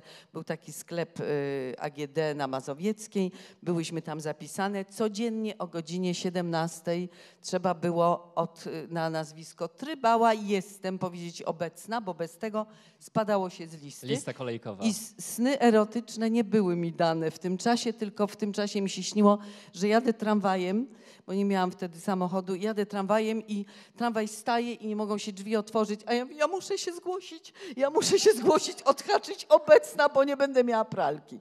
I stałam sobie w tej kolejce, stałam i kogóż widzę? Idzie pan Janusz Majewski z kimś i mówi, ja do pani, pani Marzeno, na tej Mazowieckiej. Dowiedziałem się od pani męża, że pani tutaj czeka, a ja chciałem pani zaproponować rolę Celimeny w Teatrze Telewizji. To było najbardziej, to była właśnie najbardziej oryginalna propozycja, jaką dostałam w takim miejscu. Dziękuję. Pozwólmy teraz wybrzmieć kolejnej piosence, tym razem związanej z panią Marzeną Trybałą. Piosenka wykonywana przez panią Marzenę Trybałę, e, pochodząca z albumu z 2010 roku, e, poświęcona twórczości Agnieszki Osieckiej. A, to niespodzianka, prosimy.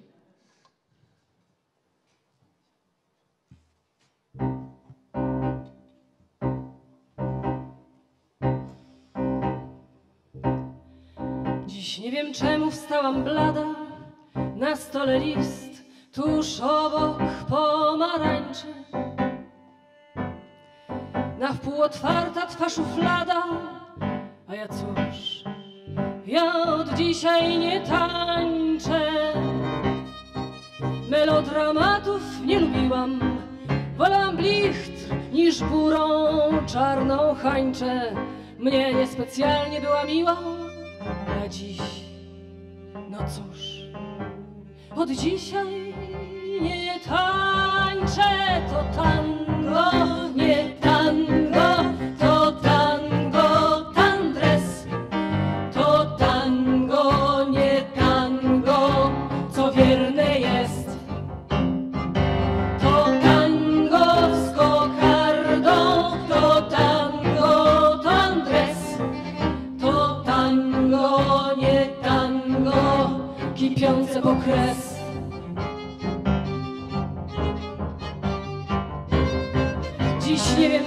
gubię buty, pieniądze trę, myśli jak szarańcze. Na wpół otwarte leżą nuty, a ja cóż, ja od dzisiaj nie tańczę. Kochany, zawsze tak to było. Coś mnie goniło, za kudły brało, łamało palce. Jakoś się żyło, coś się piło. A dziś, no cóż, od dzisiaj nie tańczę. To tango,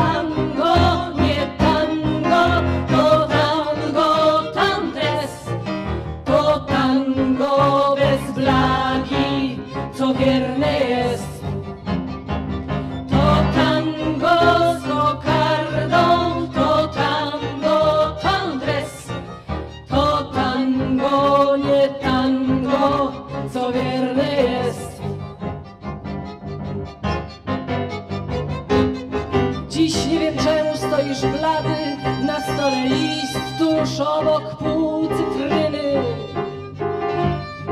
I znowu pełne twe szuflady, a ja cóż, ja jak zwykle bez winy.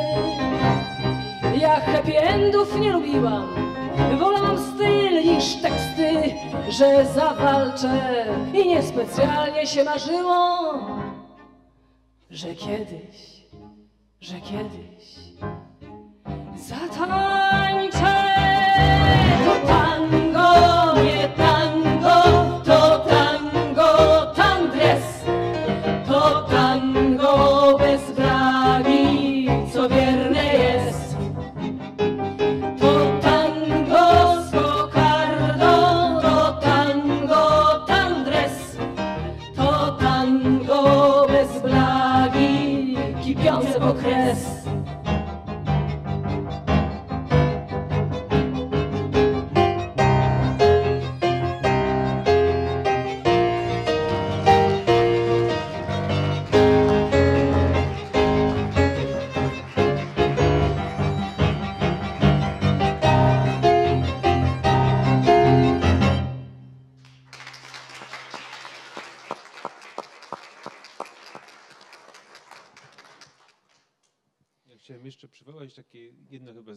Film, który pani nie zagrała, y, czyli Stanley Kubrick. Czy ja dobrze pamiętam hi- historię, którą, się, którą przeczytałem? Czy Stanley Kubrick. Reżyser castingu Violetta Bull, którą znałam od lat, zadzwoniła do mnie kiedyś i mówi do mnie, siedzisz? Ja mówię, nie stoję, to usiądź.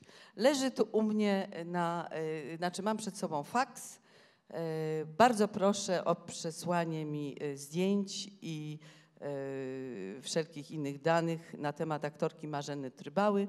Polecał mi ją do filmu Krzysztof Kieślowski. Podpis Stanley Kubrick.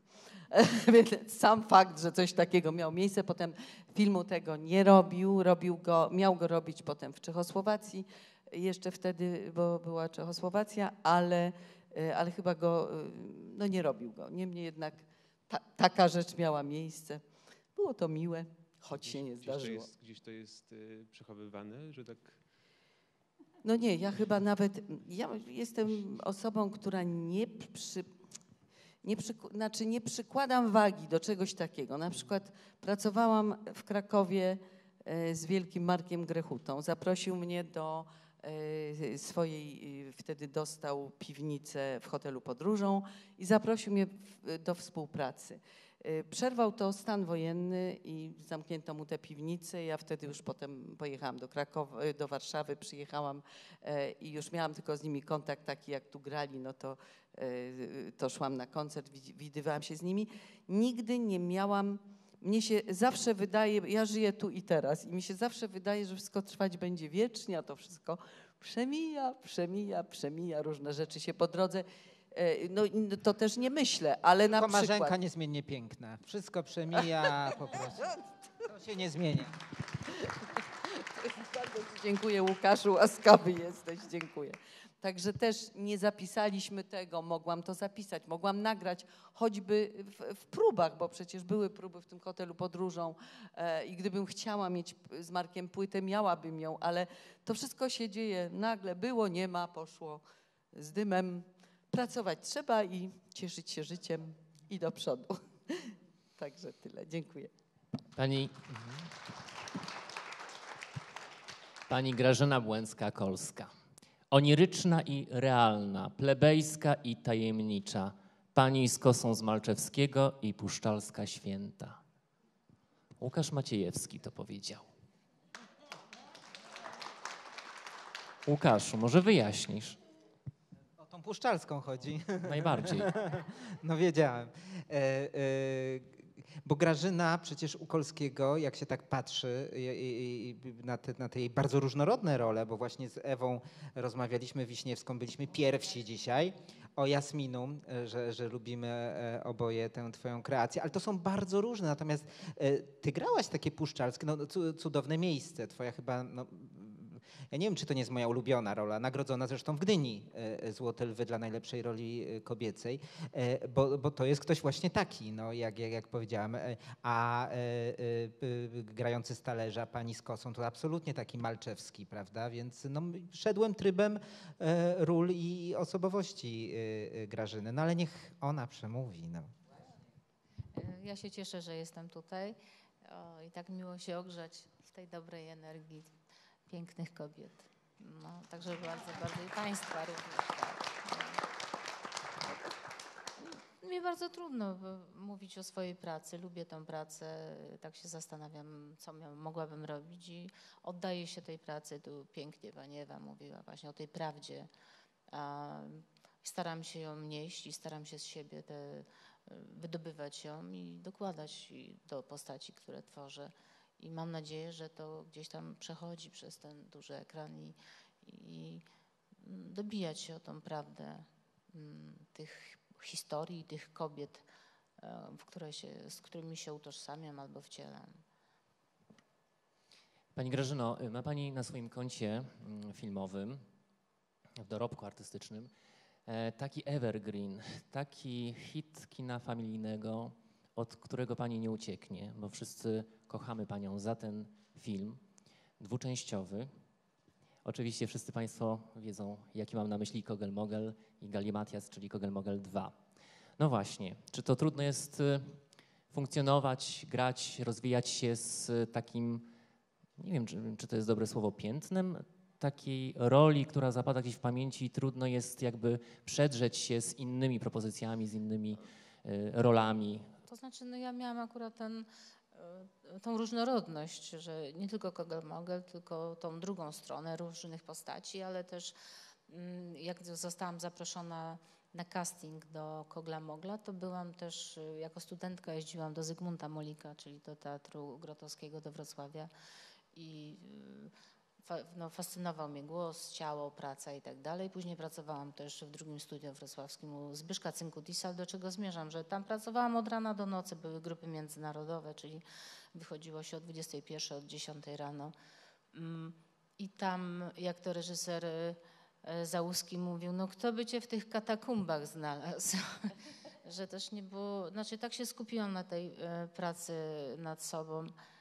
Mm, On mnie wyciągnął do tego castingu, wygrałam. to nie było moje, y, to nie był mój debiut Kogel-Mogel. Zadebiutowałam u pani Kędzierzawskiej, małą rolą w Rozalce na Boga. Jadwigi, Jadwigi dodajmy. Ma- Kędzierzawskiej. mamy Doroty. Mamy Doroty Kędzierzawskiej. Nie ukrywam, dzięki Dorocie, z którą się przyjaźniłam na studiach, dostałam tę rulkę, z czego byłam bardzo dumna. A, i, też, I też pracowałam przed kamerą u Jana Jakuba Kolskiego w jego y, etiudach szkolnych w łódzkiej szkole filmowej. Natomiast no, nie miałam pojęcia, że to tak będzie tak popularny y, ten film, że y, myślę, że to dla aktora jest bardzo miłe, że jest się rozpo... znaczy tak mi się wydaje, chociaż ja mam z tym problem, ale dzisiaj byłam, kupowałam kamienie, bo moją pasją jest też biżuteria, którą robię. I z przyjaciółką, tak, i z przyjaciółką doradzałam jej dla jej przyjaciółki, jaki kamień jest dający energię, chroniący i tak dalej. Widać tutaj, że mam tu tego dużo. I pan mówi, no wie pani, kosztuje tyle, ale moja żona tak panią uwielbia, że połowę ceny damy. Ale także też nie mam, nie mam takiej świadomości, że y, y, jestem rozpoznawalna. E, To też y, różnie to jest. W moim przypadku nie zawsze. To znaczy, mm, ludzie wspaniale przyjmują ten film i to jest dla mnie zdumiewające, jak opowiadają, że 10-15 razy cała rodzina ogląda i że jak jest źle, to ona musi sobie puścić ten kogel-mogel. I to jest to jest niesamowite, ale to ja wracam do książek, przy których się relaksuję, prawda? I to i mogę je czytać też kilkakrotnie. Mm, Kocham filmy, kocham kino w ogóle generalnie. Powiedz Grażynko jeszcze tak wspaniale, jak długo i precyzyjnie przygotowywałaś tę rolę. Jak naprawdę, bo to jest dobra historia. Nie, no to w- ogóle nie było przygotowania. E, Ja byłam taki świeży e, kurczak z tych katakumb, z tego zupełnie tego innego teatru, z tych grup międzynarodowych i z tej pracy nad sobą, nad patyczakami, jeśli, no, no w ogóle to trochę inny rodzaj e, tego skupienia i tu nagle nie było żadnej próby, tylko Romek zaczynaliśmy sceną, jak ona wraca i tymi butelkami, jeśli Państwo wiedzą, rzuca, że nie będzie się e, żenić, wychodzić za mąż. I on mówił, to jest twoja matka, to jest twój ojciec. Gramy. A ja tu no, chciałam jakąś pracę wykonać, przygotować się, poznać się mm, przede wszystkim. Zawsze dobijam się też, żeby poznać się. Tak jak z Krzysiem Majszakiem pracowałam i mówię, Krzysiu, e, przy pornografii, no wiesz co, no ja chcę do ciebie przyjechać, wiesz, ty możesz nic nie mówić. Ja po prostu wypijemy jakąś herbatę, coś, ja muszę pobyć z tobą chociaż dzień. To nam się później przed kamerą, to nam będzie ładnie pracować. Ja mówię, no ale, ale o co ci chodzi w ogóle? No także ja też muszę, potrzebuję takiego kontaktu.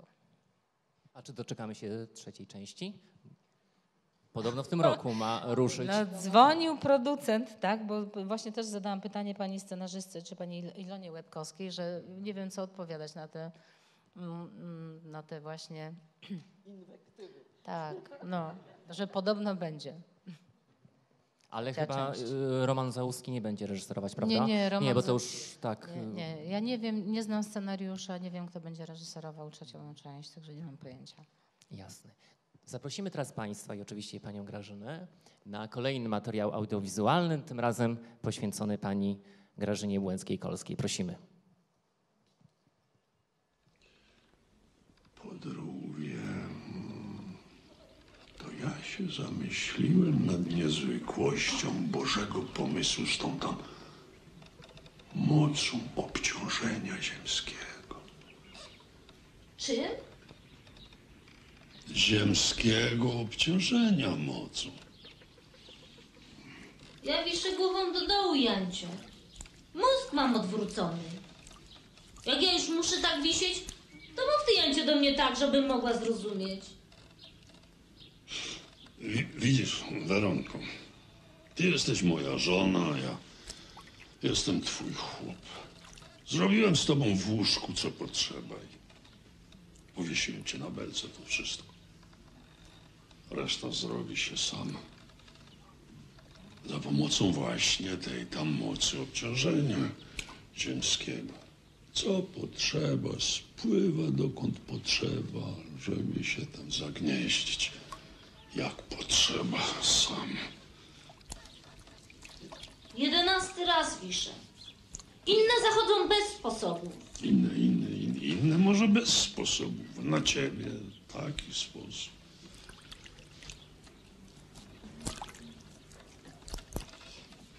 Nie całkiem chyba zrozumiałam z tym obciążeniem ziemskim. Tobie może chodzi o to, że jak coś rzucisz do góry, to to, to zaraz samo wróci. Mniej więcej. No to teraz zrozumiałam. Zdejmiesz mnie? Tylko nogi umyję. Inne depczą bez mycia. Kapusta od tego lepsza. Inne.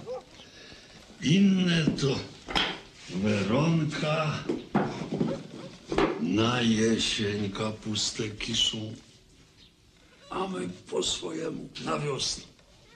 No i co? Zła była zeszłego roku? No dobra. A widzi, że przecie na wiosnę kiszona. My, Weronka, nie jesteśmy pospólstwo, żeby wszystko robić tak, jak jest robione. Na nas Pan Bóg to miał osobne pomyślenie. Ty nie czujesz tego? Ból czuję. Zdejmiesz mnie? Tylko wodę wyleję.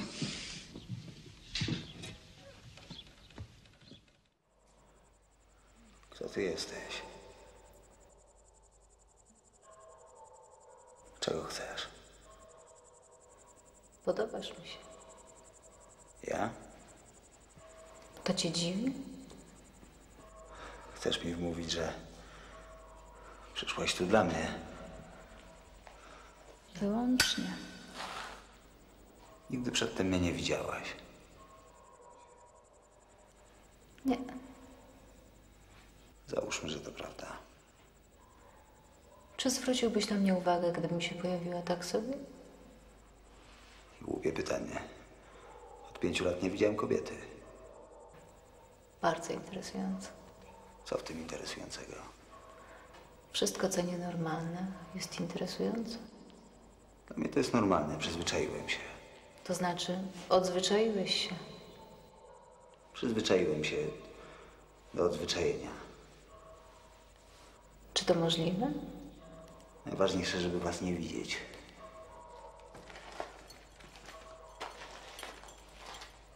A fotografia? Po co w takim razie oglądasz fotografię?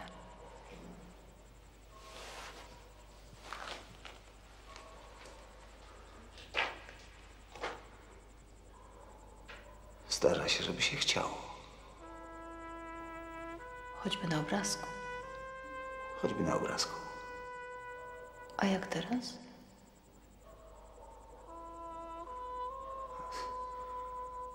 Sam nie wiem, czy tutaj jesteś, czy tylko tak mi się wydaje. Chciałbyś się przekonać? Wolałbym nie. Dlaczego? Bo boję się, że jesteś prawdziwa. Wolisz fotografię. Nie, ale chcę mieć święty spokój. Rozumiem. Boisz się kompromitacji. Nie. Więc dlaczego nie? Znasz coś lepszego. Jeszcze nie na razie. Ale myślisz, że coś takiego istnieje? Tak, tak myślę. A tymczasem się marnujesz.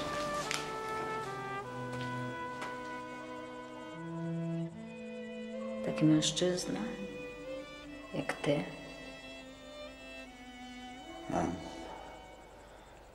Muszę wierzyć. bo przestałeś wierzyć. Kto ci to powiedział? Czas już na mnie.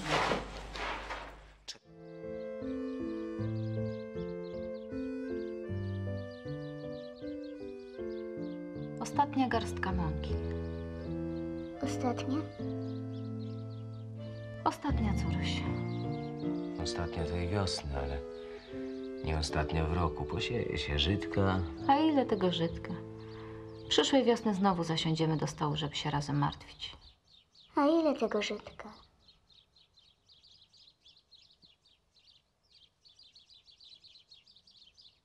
Za mało, córuś. Za mało. To co zrobimy z tej mąki? Może chlebek? Tak bym zjadła przylepkę z wodą i z cukrem. Chlebek? Ale jaki z tego wyjdzie chlebek? Taki mały jak twoja piąstka. To może dosyp to do kartoflanki. Choć raz będzie gęsta jak należy.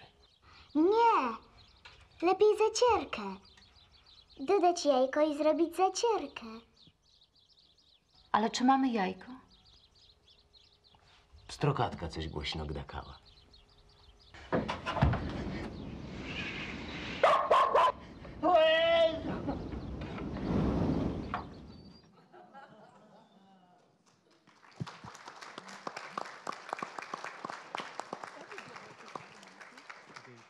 Pani Grażyno, czy wszystkie e, fragmenty rozpoznała Pani? Tak, rozpoznałam, tak.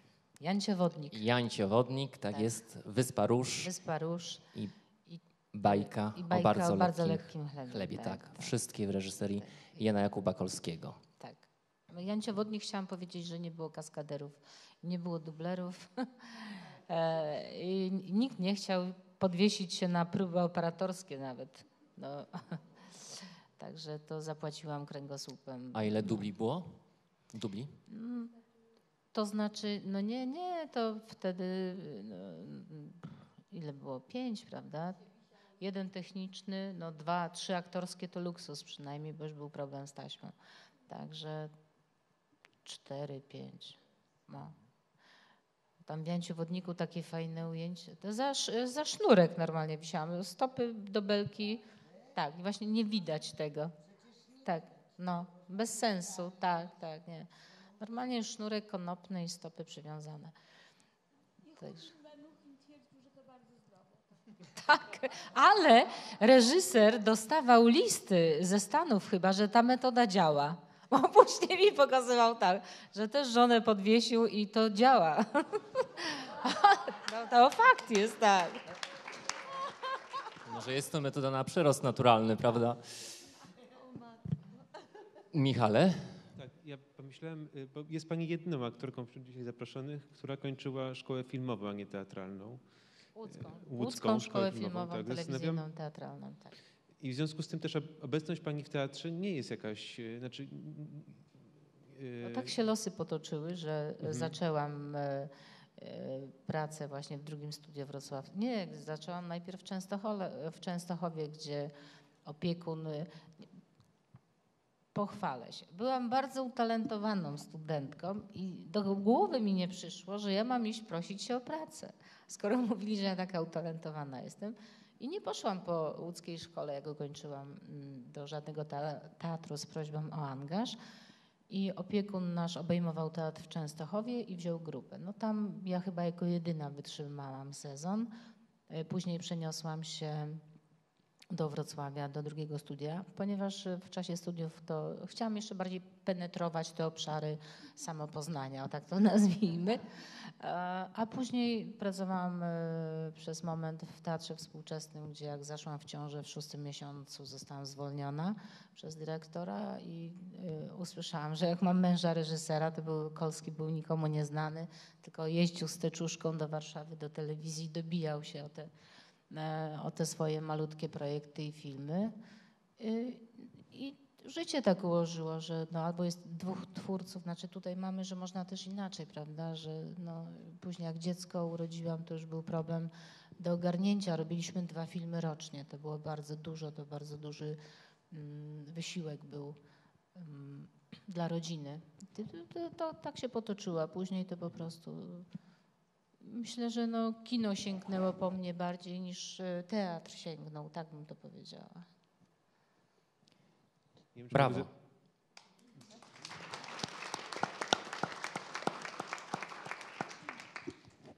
Y, Tak dość nieśmiało zapytam w takim razie, ale czy brakuje pani w jakiś sposób teatru? To znaczy chciałaby pani mieć tego teatru więcej?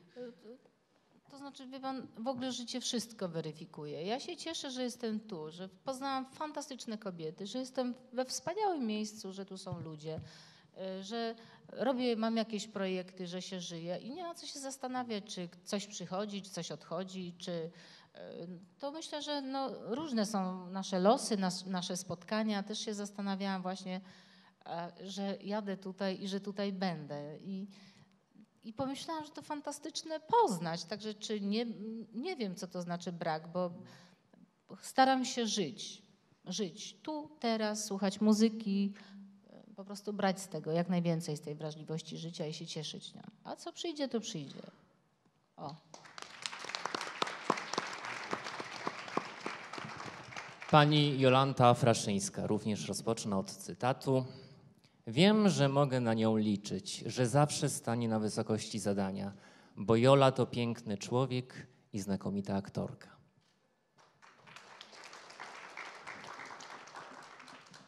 Prosto, a jak głęboko, jak trafnie. Łukasz Maciejewski. W jakich... o- Proszę. Proszę. E, Bo właśnie chciałem powiedzieć, e, w jakich okolicznościach, czy pod wpływem jakich e, wydarzeń Łukasz sformułował właśnie taką opinię. Łukasz, rozpoczynając rozdział, w którym e, rozmawia, opisuje, e, maluje portret Jolanty Fraszyńskiej, wspomina o pewnym wydarzeniu. Tu nie chodzi o szczegóły, chodzi bardziej o to, że mm, jawi się właśnie w tym opisie jako człowiek z krwi i kości, jako człowiek, który ma swoje emocje, ma swoje uczucia, co jest tak nietypowe dla zimnych dziennikarzy, którzy właściwie chcą tylko wyeksploatować swoich rozmówców i osiągnąć to, co dla nich jest najważniejsze. Mm, To wielki szacunek dla, dla Łukasza. To piękne było, że, że tak otworzył się. I przy tej okazji właśnie mm, bohaterką tego wydarzenia była pani Jolanta, która stanęła na wysokości zadania, wsparła Łukasza. Brawo. Tak, y, ja dziękuję za ten wstęp, chociaż jestem troszeczkę onieśmielona e, nim. Ja chciałam przede wszystkim podziękować paniom, tak jak i tobie Grażynko, bo powiedziałaś, to co powiedziałaś jest mi bardzo bliskie. Ja też nie rozpamiętuję, tylko żyję. E, tu i teraz i jak gdyby to jest dla mnie najważniejsze. Przede wszystkim wdzięczność za to, co się ma. A to, że Łukasz, e, Łukasza wyhaczyłam w swojej, że tak powiem, orbicie, to nie jest chyba przypadek, ponieważ ludzie się jakoś przyciągają, przyciągają swoją wrażliwością i tym, jakimi są ludźmi. A Łukasz jest e, osobą urodzoną, mówię to na każdym spotkaniu, tego samego dnia, co moja nieżyjąca mama, 13 marca, więc coś chyba w tym jest. Jest mi trochę taką opoką wzajemną, ja dla niego, a on dla mnie. E, I, i tyle, tyle na ten mm, jakby gwoli e, tutaj e, tego wstępu, jeśli pan pozwoli. Oczywiście, to wystarczy jak najbardziej. To w takim razie materiał poświęcony pani Jolancie. Bardzo Trzy proszę. fragmenty tradycyjnie y, spektakli teatru, telewizji. Myślę, że będą niespodzianką dla nas wszystkich, dla pani Jolanty również. Prosimy bardzo. Idź za mną. Oto nowe ziemie, których jeszcze nie znasz i które możesz przemierzać bezpiecznie.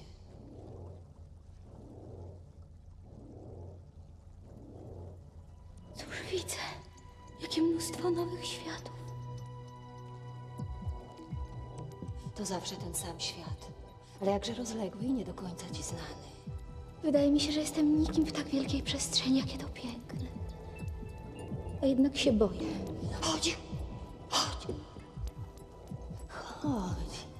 Ikra,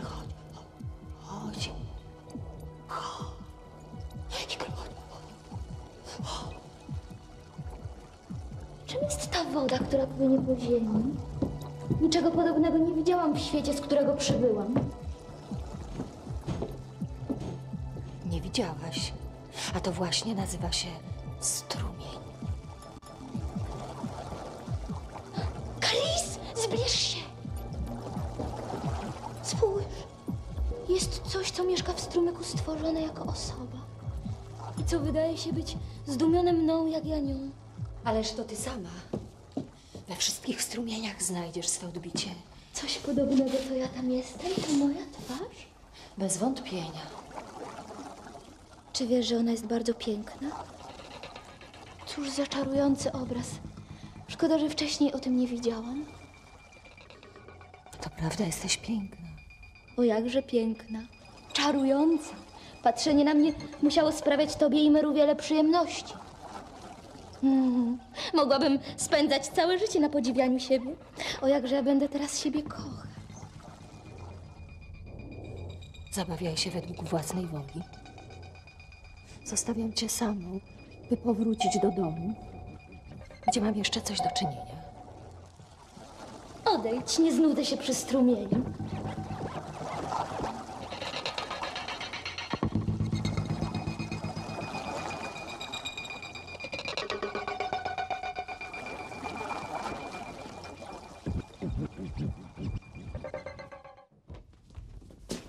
Ci wychodzić. Niczego mi nie zabronisz. Teraz jestem starsza od ciebie. Co ty wygadujesz? Jesteś mały wróbelek na gałęzi, a ja jestem twoja starsza siostra. Ty nieuleczalna dziewico. Nic nie wiesz o życiu. Dobrze się pilnowałaś. Cały czas uważałaś na siebie. A ja jestem stara, zgwałcona, przegrana. Sama muszę o wszystkim decydować. Jesteś chyba moją młodszą siostrzyczką, która zawsze mi się ze wszystkiego zwierzała. A ty jesteś chyba starą panną, która nie ma o niczym pojęcia i nie powinna zabierać głosu przy moim doświadczeniu. Jakim doświadczeniu? Jakim doświadczeniu? Doświadczenie nieszczęścia jest tyle warte, co nic. Jest tyle warte, żeby jak najszybciej o nim zapomnieć. Tylko doświadczenie szczęścia ma jakiś sens. O nieszczęściu, które ciebie dotknęło, Czyżyku, zapomnisz. Bardzo szybko zapomnisz. W obecności siostry, brata i rodziców. Właśnie. Rodziców zapomnę i brata, i siostrę. To was zapomnę, a nie moje nieszczęście. Nie, brat cię obroni. Będzie cię kochał. Bardziej niż kogokolwiek na świecie, bo zawsze cię kocha. Bardziej niż kogokolwiek. On ci zastąpi wszystkich mężczyzn, jakich będziesz potrzebowała. Nie chcę być kochana. Nie mów tak. Tylko to jest coś w życiu warte. Jak śmiesz tak mówić? Nigdy nie miałaś mężczyzny. Nigdy nie byłaś kochana. Całe życie spędziłaś sama, jak palec. I byłaś bardzo nieszczęśliwa. Nigdy nie byłam nieszczęśliwa. Byłaś. Wiem. Przyłapałam cię nieraz, jak płakałaś za firanką.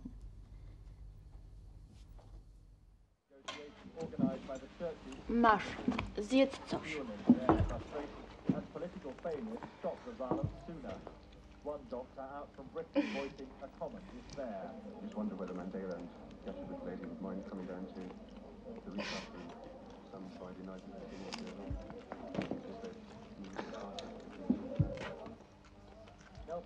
Jezu, jakie to niedobre. W porządku. Mm, To jedz.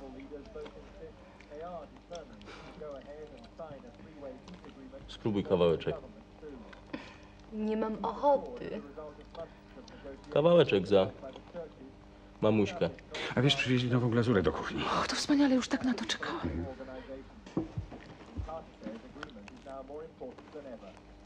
Mm. A teraz za tatunia. Kawałeczek za tatuśka.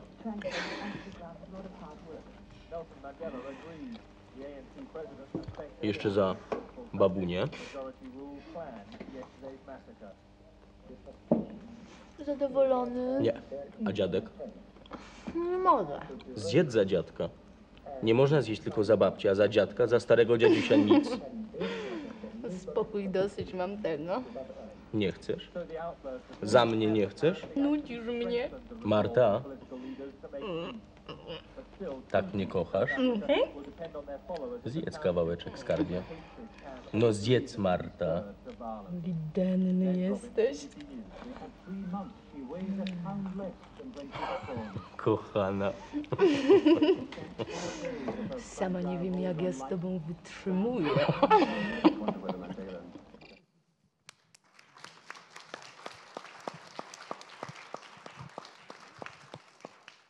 Spór, Roberto Zucco i Obcy Bliscy. No, Niespodzianka? tak, znaczy tak, bo to pierwsze teatry telewizji dawno temu. E, Reżyser Michał Kwieciński. 91 rok.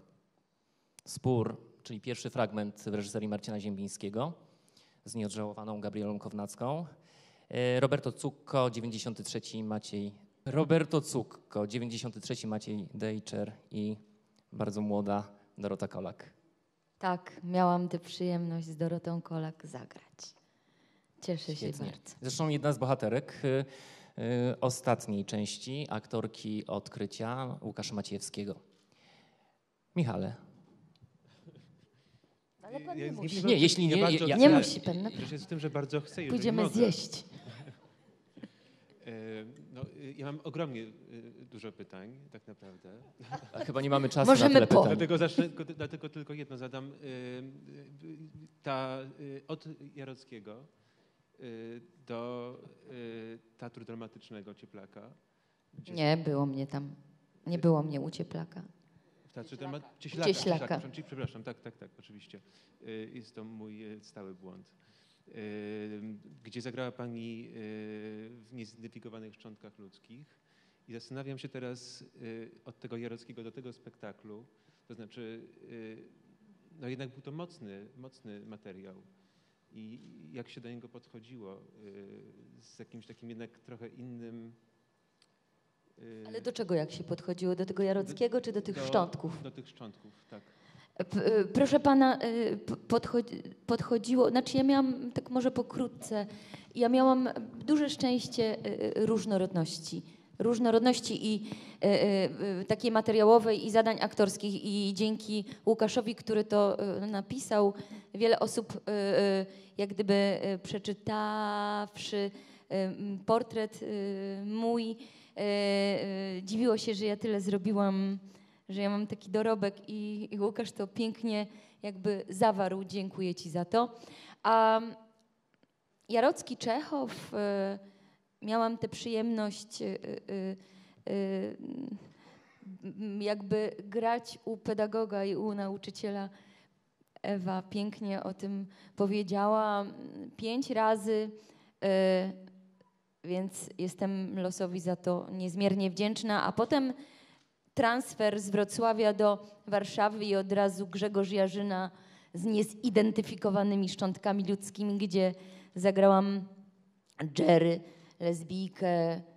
To było dla mnie o tyle trudne doświadczenie, że e, na spotkaniu pierwszym czytanym Grzegorz Jarzyna, wskazując na Magdę Cielecką, powiedział moja kobieta.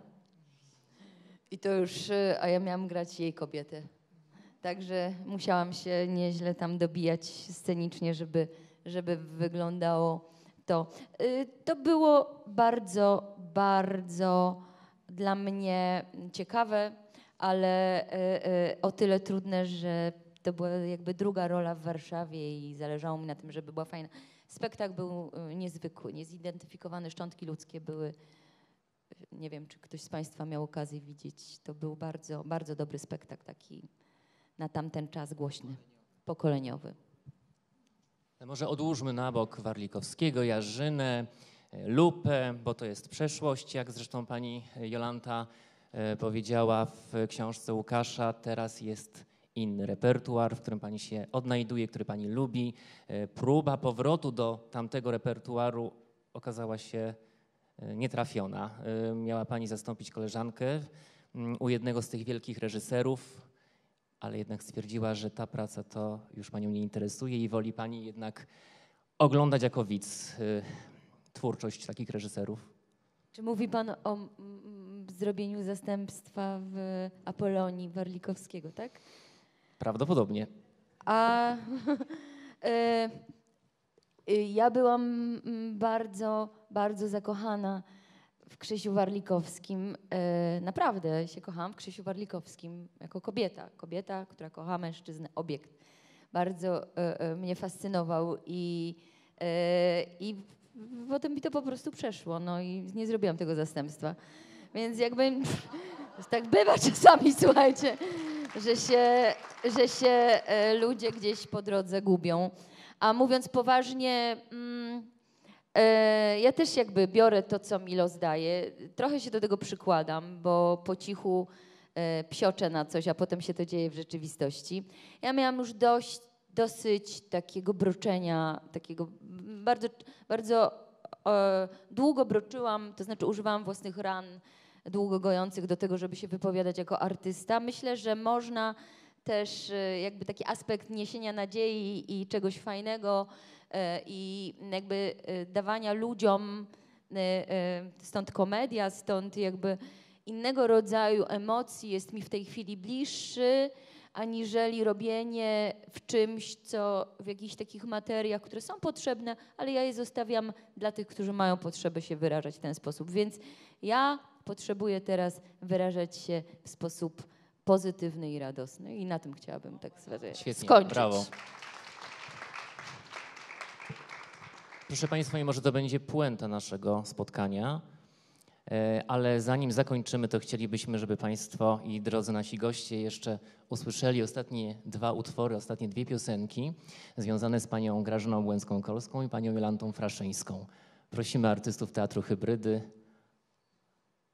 o prezentację.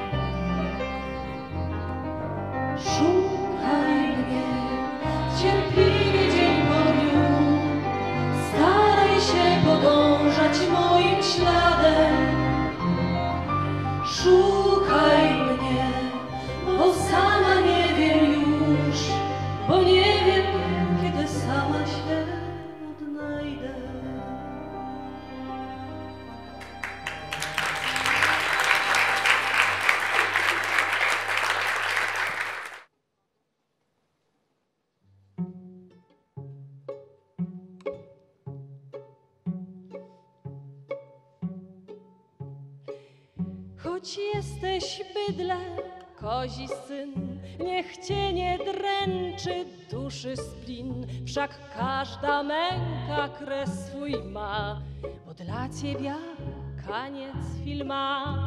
Choć zamiast twarzy zadek masz, optymistycznie w przyszłość patrz, jak jesiotr będziesz wkrótce gnił, więc się nie przejmuj byle czym. Bo dla ciebie koniec filma, bo dla ciebie koniec filma.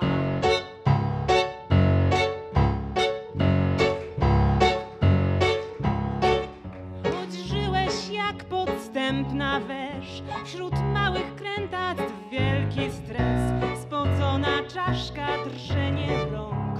Uśmiechnij się, to kres twych mąk. Spójrz jak wątrobę toczy rak, lecz nie mów, że ci szczęścia brak. Niech cię nie dręczy ciężar wszak już po śmierci będziesz zdrów.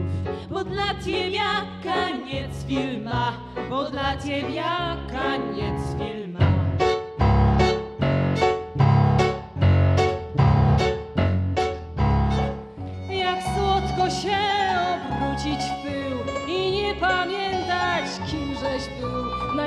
Najsłodszą będzie chwila ta, bo dla ciebie koniec filma. Bo dla ciebie koniec filma, bo dla ciebie koniec filma, bo dla ciebie koniec filma, bo dla ciebie koniec filma, koniec filma.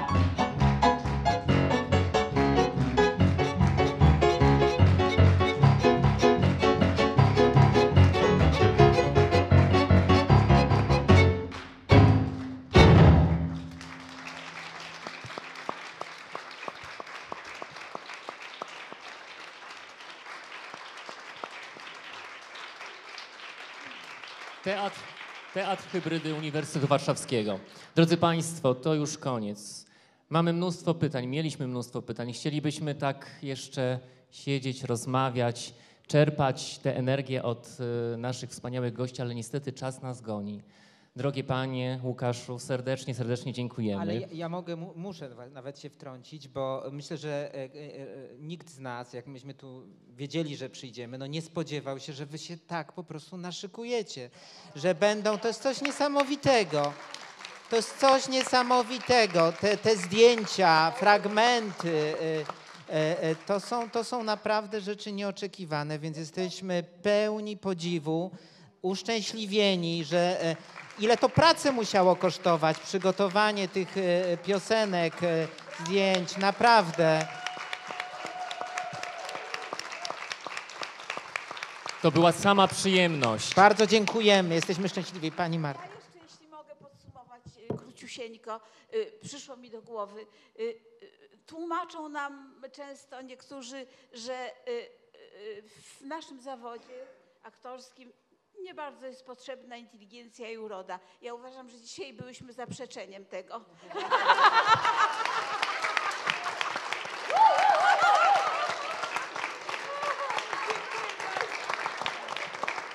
W zawodzie dziennikarskim również.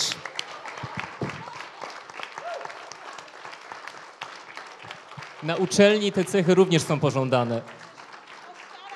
dostanie Dortmund, a, a Gainsborough dostanie e, drugą nagrodę jakiegoś Globa, ale dalej podtrzymuję to.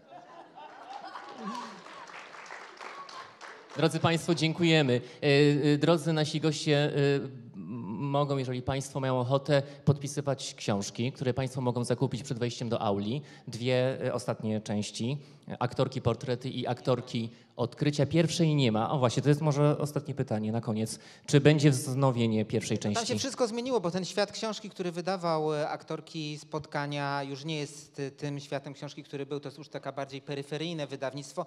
No ale ponieważ wszystkie magazyny są wyprzedane i jedyne, a ludzie ciągle tam dzwonią, że chcą, chcą no obiecali mi, że e, będzie wznowienie w tym roku, kolejne wydanie. Już kolejne, kolejne, bo, bo już było wiele wydań. e, 60 tysięcy egzemplarzy ta książka się sprzedała. Tak, aktorki spotkania. No. Drodzy studenci, zapraszamy na dół do naszych gości. Tylko sny, szalone sny są tutaj jak